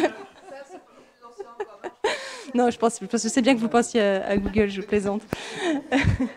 Mais je vais, volontairement répondre à côté, euh, parce que justement, le cas d'Internet Archive est intéressant. C'est une fondation américaine euh, à but non lucratif qui se lance euh, en 1996 dans l'archivage du web mondial. Comme ça, toute seule, elle se donne cet objectif. Tiens, cette chose a l'air importante, on va l'archiver. Euh, c'était une assez bonne idée. Et quelques années plus tard est né un consortium où en fait les bibliothèques nationales qui avaient commencé elles aussi à se poser cette question du point de vue du, dépôt légal, dans la continuité de ce qu'elles faisaient auparavant, ont souhaité se, se, rapprocher, comme on était sur un objet nouveau euh, on voulait voir s'il était possible de partager les outils euh, nouveaux qui étaient, qui étaient créés, ce qu'on a fait. Euh, donc ce consortium s'appelle IPC, International Internet Preservation Consortium, et c'est un des cadres dans lesquels on collabore au niveau international sur ces sujets. L'INA en fait d'ailleurs également partie.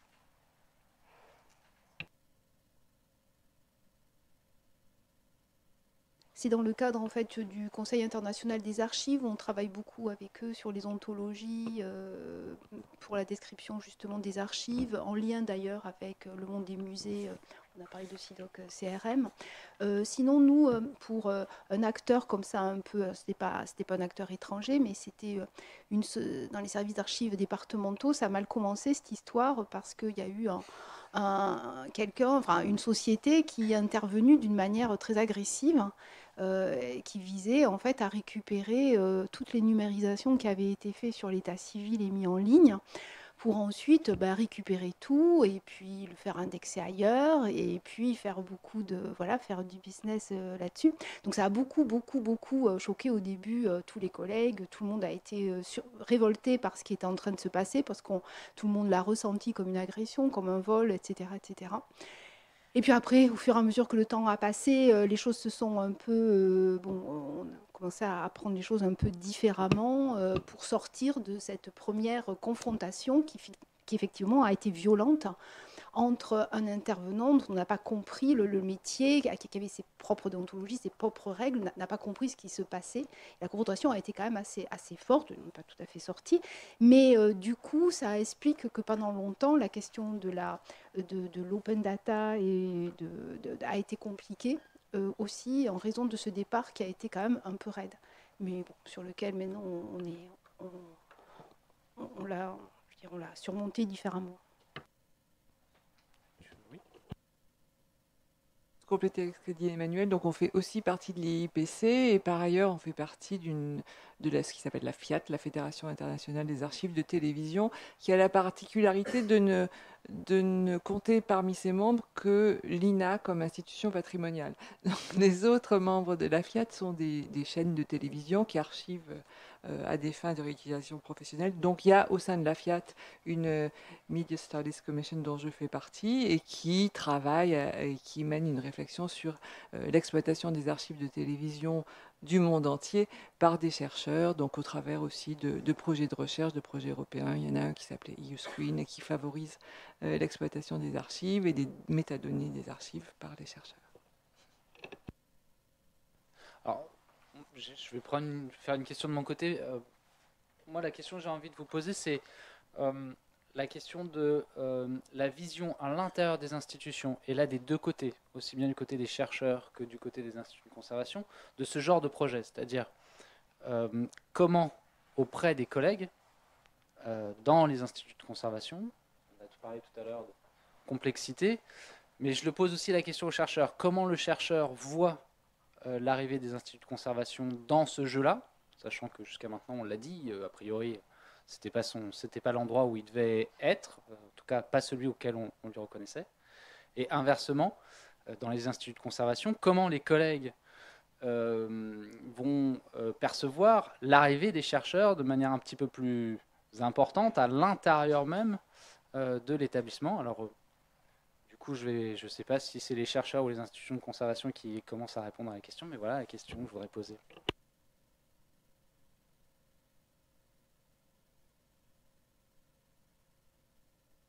Euh, ça, c'est la question qui fâche.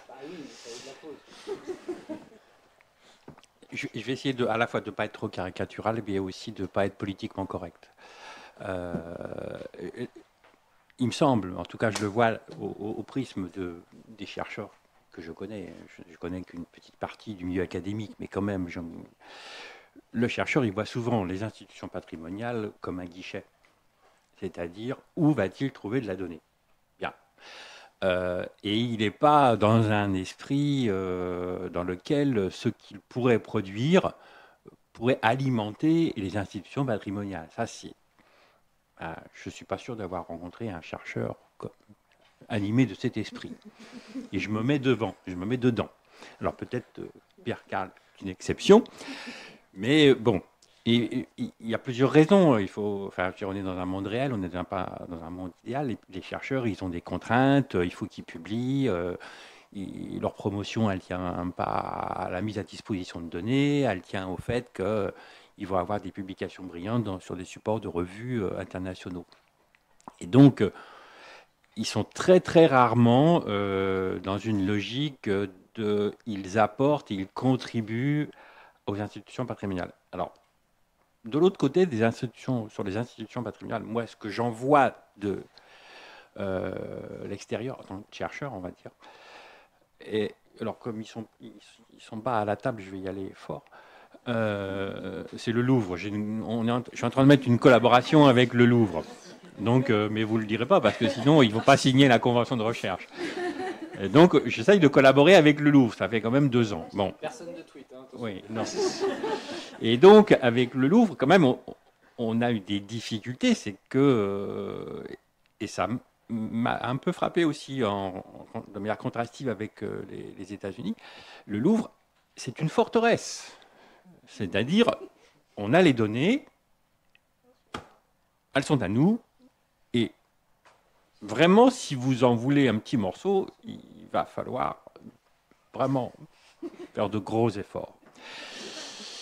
Alors, puisque vous allez tweeter, euh, c'est quand même en train de, se modifier parce que euh, le numérique est une espèce quand même de, rouleau compresseur et ils sont en train de prendre, conscience qu'ils ne peuvent pas, euh, comme ça, rester dans une forteresse, ne serait-ce que par euh, l'alignement des données. Enfin, l'exemple qu'a donné Antoine tout à l'heure sur le fait que les provenances, ils ne peuvent pas tout faire. Donc, ils ont besoin de se coordonner avec d'autres. Donc, voilà, mais quand même, les institutions patrimoniales, elles sont souvent quand même dans une logique de ce sont leurs données.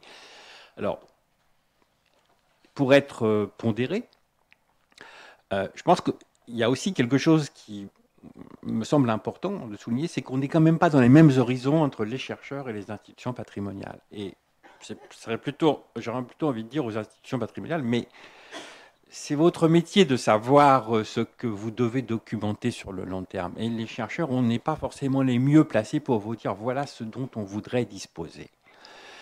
Par contre, et ça, je voudrais reprendre ce qu'a dit Emmanuel Mermès, ça me semble assez important, c'est que les chercheurs de plus en plus, ça, ils changent leur problématique de recherche, c'est lié au numérique, je pense, aussi bien sûr. C'est ils prennent conscience que ces données massives leur permettent d'exhiber d'autres objets de recherche. C'était l'exemple ce matin de Pierre Carl. Et ça, euh, de ce fait, ça pose une question aux institutions patrimoniales sur qu'est-ce qu'ils décrivent, quelle est leur, leur sélection et comment le documentent-ils et qu'est-ce qu'ils vont mettre en place pour qu'on puisse avoir accès à ces données massives. Donc euh, voilà pour un des éléments de, réponse, mais surtout ne gâchez pas ma collaboration avec le Louvre.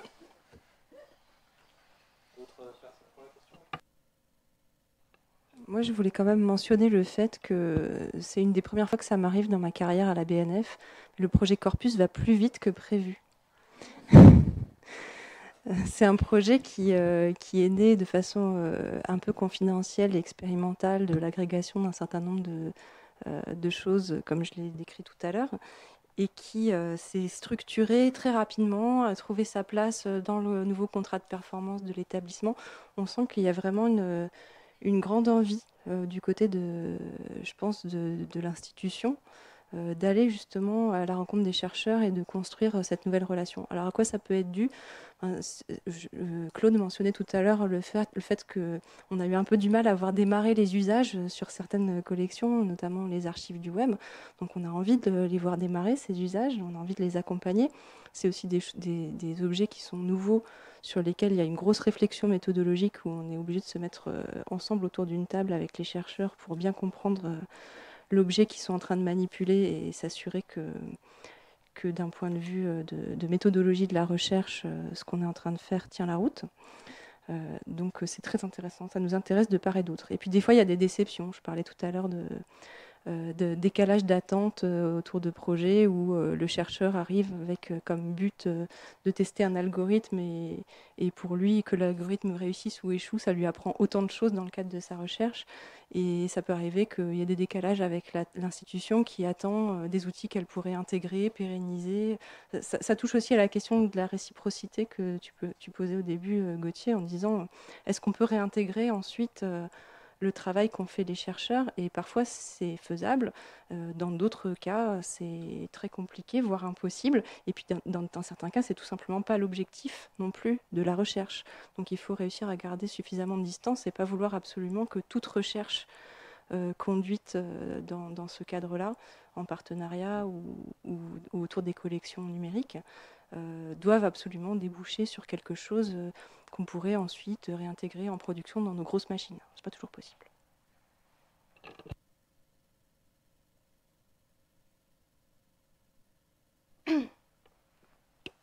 Oui, j'allais dire qu'en gros, nous, euh, on était plutôt dans, l'optique d'avoir aussi très envie, ce que j'ai pas dit, d'arriver à, à, trouver ces nouveaux usages, parce que, par exemple, nous, on a aussi en tête de développer euh, les nouveaux modules pour les accès aux archives nativement numériques qu'on va mettre en place. Et ça, pour nous, euh, c'est quelque chose de tellement nouveau qu'il faut impérativement qu'on y travaille euh, avec, avec des chercheurs. Sinon, la réaction au sein des institutions. aux archives nationales, c'est sûr qu'il y a une partie des agents scientifiques euh, où il peut y avoir deux types hein, d'obstacles. Le, premier obstacle, c'est que euh, euh, beaucoup ont longtemps travaillé avec des priorités un peu qui sortaient d'elles-mêmes et qui étaient leur propre temporalité, leur propre voilà. Et là, tout d'un coup, avec la systématisation des partenariats scientifiques qu'on est en train de vivre, euh, on ne laisse plus les gens avoir leurs priorités, mais euh, leur priorité devient les priorités de ses partenaires scientifiques.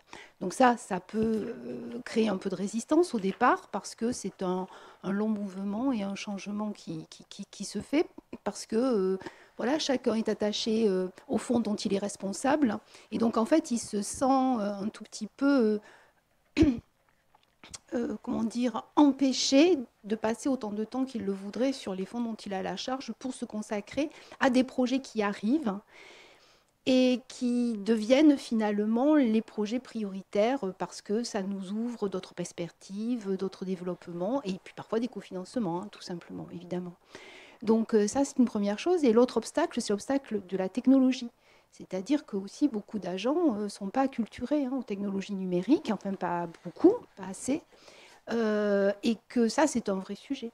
Et que ce sujet, euh, ben, on, peut l'avoir, on peut essayer d'y répondre par des formules, évidemment des formations, mais par exemple, nous, on a ouvert des ateliers numériques hein, internes aux archives nationales pour que un certain nombre d'agents qu'on sait être particulièrement habités par les technologies numériques puissent essaimer la bonne parole auprès de, leur, de leurs collègues, ne serait-ce qu'en leur faisant connaître des outils, euh, des petits des, trucs, et que peu à peu les choses deviennent plus euh, euh, beaucoup évoquées sur ce qu'on fait avec Wikimedia, etc. ce, genre de, de, choses. Et puis le Barcamp, c'est typiquement aussi un, des, un, des, un des objectifs.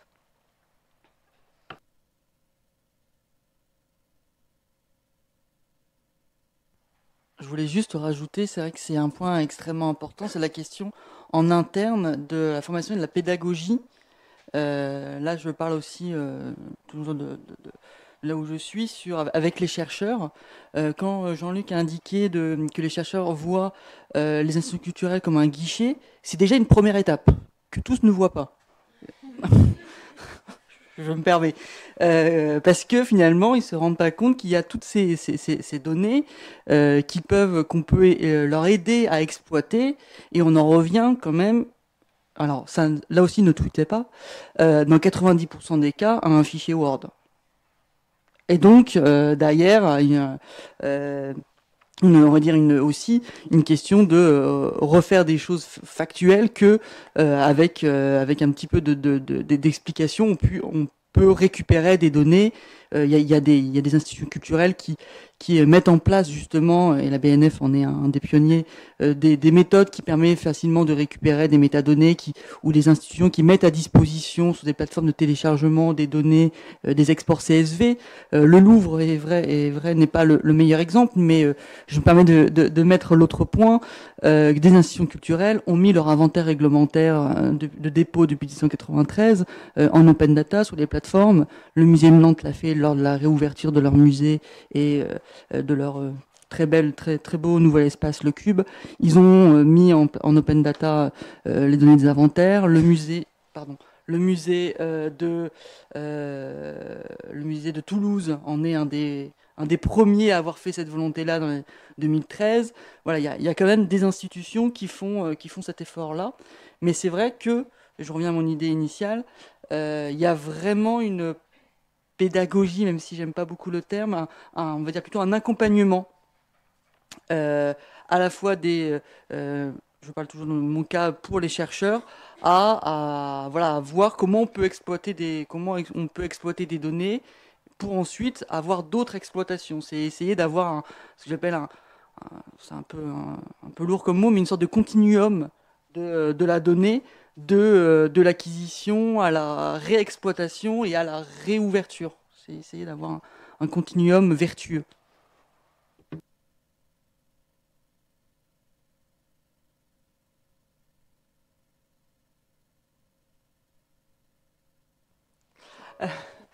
Euh, donc, et alors Alina, on a cette contrainte que les métadonnées qu'on produit, ben, en fait, on n'est pas les seuls à les produire, donc on ne peut pas s'inscrire vraiment dans l'open data, mais on a cette conscience euh, en général dans l'institution que, dans le contexte qu'on est en train de, décrire aujourd'hui, euh, le chercheur est en demande d'exploitation de jeux de données qu'on pourrait lui soumettre. Alors, on n'a pas d'API qui permet d'extraire les métadonnées depuis notre catalogue, par exemple, qui est publié en ligne, mais on fait de l'extraction de données à la demande et on a mis en place un cadre réglementaire avec une licence d'exploitation, qui n'est pas étalable parce que ce n'est pas de l'open data, mais une licence d'exploitation des données par les chercheurs. Donc, on l'autorise au travers de cette licence.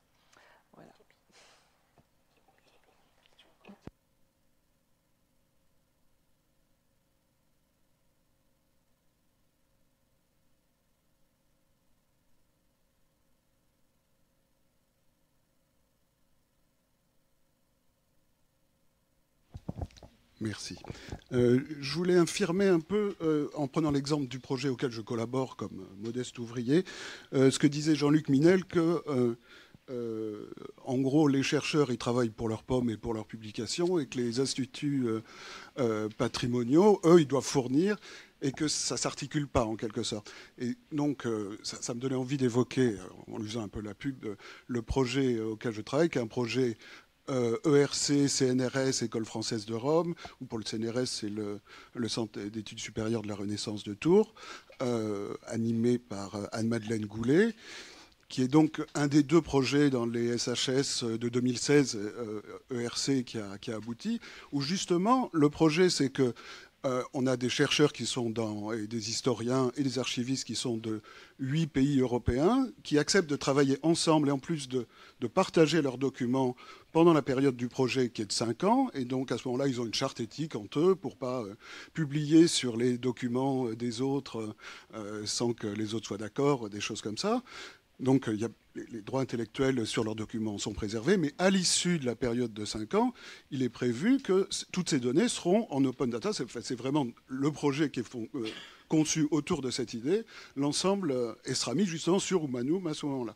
Dans un premier temps, ils ont un outil de base de données qui est interne, qui est confidentiel à l'intérieur euh, euh, du projet, mais à la fin, ça va devenir de l'open data, et, donc il constitue un, corpus. C'est les, arts du spectacle à Rome à la période baroque, et donc il crée un corpus euh, en dépouillant des archives de familles aristocratiques romaines, mais à la fin, ça va devenir, ça va devenir de l'open data. Donc il y a bien des, ou alors c'est peut-être l'amorce que quelque chose est en train de changer là-dessus, et en tout cas, il y a bien des possibilités. C'est enfin, l'intelligence d'Anne-Madeleine Goulet d'avoir conçu son, projet comme ça, d'articuler entre euh, le travail des chercheurs, leurs publications, puis l'open data, notamment si on conçoit le projet autour de cette idée, quoi, je pense.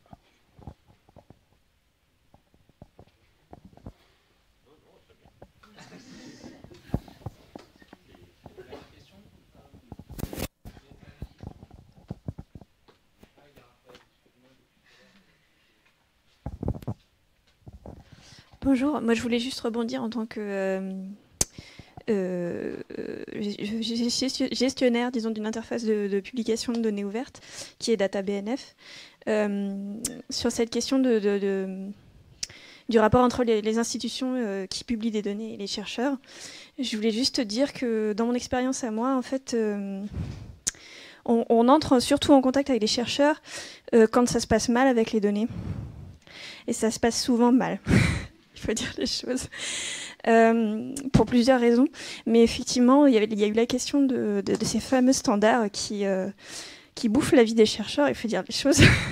Souvent, en fait, ils nous, ils nous disent euh, Mais pourquoi vous balancez pas des CSV plutôt que vous embêter à faire du, web sémantique Et puis le Sparkle, c'est inutilisable, et puis vos données, on comprend rien. et donc, donc, du coup, il y a, tout un travail comme ça de, médiation à faire. Euh, et surtout, en fait, la question qui se pose, je pense aussi à travers ça, c'est euh, jusqu'où on doit euh, adapter des pratiques du métier qui sont faites en fait pour le métier quand même aux pratiques de recherche. C'est-à-dire comment est-ce que on peut rendre perméables ces deux mondes-là. Est-ce qu'il faut les rendre perméables, surtout? Euh, Est-ce qu'on doit commencer à cataloguer en pensant aussi aux pratiques des chercheurs qui vont réutiliser nos données? C'est une vraie question, sachant que ces données, elles sont des archives à part entière au sens où euh, elles sont produites dans le cadre de l'activité d'une institution, euh, et donc elles doivent répondre aussi aux besoins de cette institution. Et est-ce que la question de, l'open data, c'est pas simplement juste de relâcher des données comme ça euh, un peu dans le vide et puis on attend euh, que des, gens euh, se, saisissent de ces données. Est-ce que la question, c'est pas aussi comment est-ce qu'on documente nos pratiques et comment on documente le comment dire comment est-ce qu'on documente en fait toute l'activité de la bibliothèque qui a généré ces données, toute la genèse en fait de la production. Euh, je crois que c'est une question qu'il faut vraiment poser dans le cadre de cette réflexion sur les, corpus.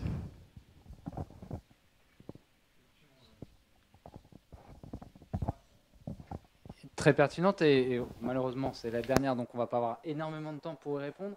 Mais, mais c'est, je crois, une, des questions. Il y a eu plusieurs personnes qui ont, qui ont commencé à, évoquer cette problématique. qui commence d'un côté ou de l'autre, les, deux chercheurs Place à la jeunesse alors. J'arriverai jamais avec ce micro. Euh, c'est voilà, c'est euh, là je vais, parler en tant que là réutilisateur euh, de données de différentes institutions. Je pense que et là c'est une voilà, c'est vraiment une, démarche personnelle et, et peut-être un peu naïf. je pense qu'il faut faire ce que moi j'ai appelé des vues. C'est-à-dire qu'il faut que l'institution puisse proposer des vues adaptées à la fois à la compétence de ceux qui vont la consommer et euh, de euh, la manière que l'institution peut déposer et ouvrir les données. Pour être plus explicite, parce que je pense que je ne le suis pas trop, c'est par exemple, oui, le SPARQL, c'est vachement bien, mais il faut s'y frotter quand même. Hein, c'est un peu violent. Donc de pouvoir, de pouvoir on va dire, euh, proposer euh, des, des, jeux de données déjà un peu, on va dire, pas pré-mâchés, parce que forcément le chercheur va faire un va-et-vient après en disant Ah, il me manque cette chose-là. Mais finalement, moi, mon, idée, ce serait de pouvoir, on va dire, faire un, peu voilà ce que j'ai envie comme données et d'automatiser une récupération selon le format que la personne est capable d'utiliser.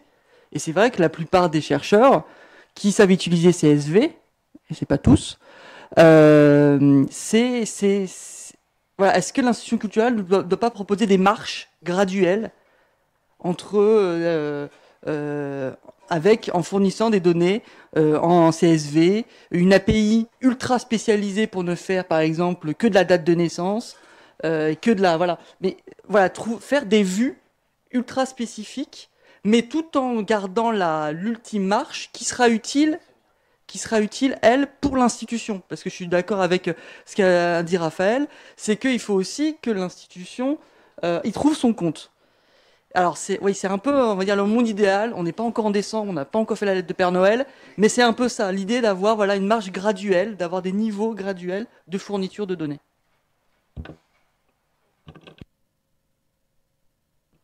Euh, je suis d'accord avec ce qu'a dit Antoine, mais quand même, je vais être peut-être un peu plus euh, euh, imperméable.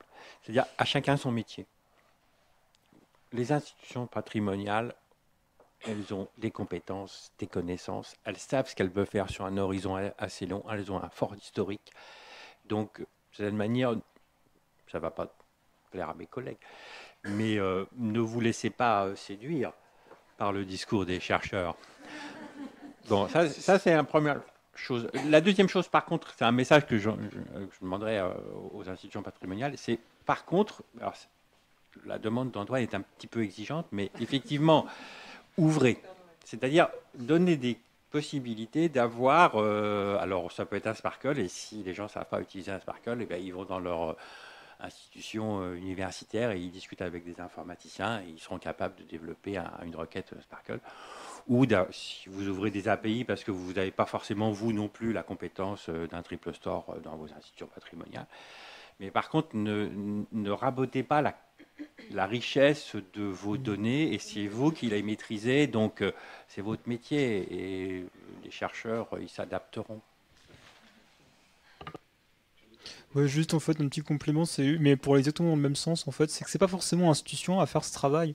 Enfin moi par exemple le portage du Sparkle en CSV, je l'ai fait en fait pour toutes les publications de toutes les années à chaque fois. Donc j'ai créé un CSV par année dans un BNF. Alors évidemment on perd tout l'aspect relationnel, mais bon c'est pas c'est pas inutile. Mais c'est pas. Une fois que c'est ouvert, finalement on peut avoir des intermédiaires qui s'occupent de faire ce travail de mise en relation. Et c'est pas nécessairement l'institution de le faire, même si c'est bien si elle le fait. Mais c'est pas en ses priorités, c'est pas très grave.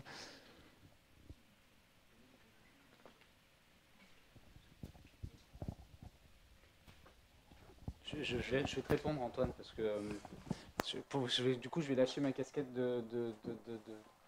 d'animateur pour, répondre directement. Le, gros souci, il faut bien se rendre compte de ça. Alors, bon, le cas de l'INA est un peu particulier puisque on a des problèmes de droits d'auteur et puis on a surtout des problèmes de données personnelles sur nos données qui sont bourrées de données personnelles et c'est une des raisons pour lesquelles, c'est la principale raison pour laquelle aujourd'hui on n'arrive pas à la mettre en open data malheureusement. Mais, mais au-delà de ça, au niveau technique, il faut bien se rendre compte, alors le cas de l'INA est particulier puisqu'on a un EPIC, que je peux vous dire que le jour où je vais voir le président de l'INA et je lui dis bon, il faut qu'on mette en open data, la première question qu'on me pose c'est oui et alors qu'est-ce que ça va me rapporter? Euh, je, suis désolé de le dire aussi crûment, mais, mais, mais c'est exactement. Alors, en l'occurrence, c'est. Euh, mais je ne comprends pas s'il y a des usages à l'extérieur pour faire du pognon. Pourquoi nous, on ne fait pas du pognon directement avec, euh, avec nos données? On n'est quand même pas plus stupide que ceux de l'extérieur. Vous rigolez, mais c'est exactement le discours qu'on m'a porté. Et je peux vous dire, des réunions sur l'open data, j'en ai fait un certain nombre avec l'ensemble des membres du COMEX. le gros souci qu'on a, c'est de trouver un juste milieu je, alors, je, suis d'accord d'un côté pour euh, euh, garder, et, c'est bien tout l'enjeu de ce qu'on fait en ce moment à l'ENA, de garder toute la richesse des données, etc., et en même temps d'apporter des choses. On, on, ne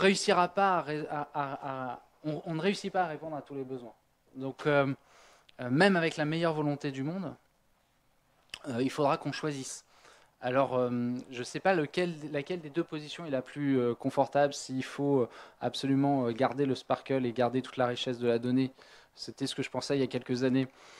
ou balancer des, dizaines des dizaines ou des centaines de CSV. Et c'est ce que j'ai plutôt tendance à penser malheureusement aujourd'hui. Peut-être que... Peut-être qu'entre les deux, il y a un juste milieu qu'il faudra qu'on trouve et qu'il faudra qu'on trouve ensemble. Euh, mais, clairement, aujourd'hui, euh, euh, la, question est, clairement posée et on ne pourra pas tout faire, malheureusement. Et ce n'est pas notre rôle de mettre toutes les API qui vont bien à disposition pour exploiter nos données. parce que financièrement, juste financièrement, c'est pas possible. Moi, je voulais aussi ajouter, euh, dans mon expérience euh, un petit peu lointaine maintenant, mais d'équipes de recherche avec lesquelles j'ai pu travailler euh, il y a un peu longtemps, euh, je parlais tout à l'heure de la fidélité, c'est-à-dire on commence à travailler ensemble, et puis plus on travaille ensemble, plus on travaille ensemble, etc. Et dans cette relation de fidélité, on, franchit les marches aussi dont parlait Antoine. Et à un moment donné, le chercheur a fini par nous dire non, mais je voudrais bien les données, mais les données natives, celles que tu as toi au fond de ta base, parce que c'est les plus riches, je sais qu'elles sont là. Est-ce que tu peux me donner celles-là? Et donc, euh, bon, c'est aussi cette, euh, pour aller dans ton sens, hein. mettre en place toutes ces marches pour accompagner le chercheur, alors qu'on sait qu'à la fin, de toute façon, c'est là qu'il va vouloir aller parce que c'est là que c'est riche, euh, c'est compliqué.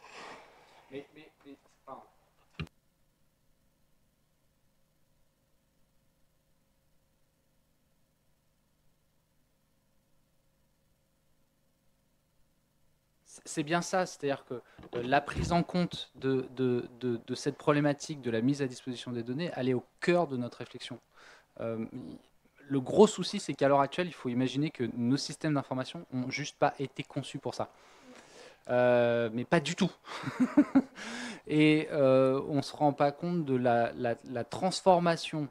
Alors là, je vais le dire aux, chercheurs. le coût que représente la transformation en cours à l'intérieur de nos institutions, on le fait parce qu'on sait que c'est nécessaire. mais il va falloir aussi de la patience euh, de la part des chercheurs parce que ça va venir. Euh, mais c'est vrai que c'est un coût de transformation qui est très important. Simplement, sachez que c'est au cœur euh, même de, nos réflexions, d'une manière ou d'une autre, peu importe la façon dont on le, conçoit. On va ça, malheureusement s'arrêter là. Je crois qu'il y aurait encore beaucoup à dire. Merci à, tout le monde. Merci aux intervenants, vraiment. Euh, beaucoup d'avoir euh, d'avoir euh, permis cette, cette discussion. on a une petite pause, c'est ça, maintenant, avant d'écouter la conférence conclusive de Paul Bertrand qui va essayer de nous synthétiser tout ça de manière fantastique et brillante, comme d'habitude. Merci à tous.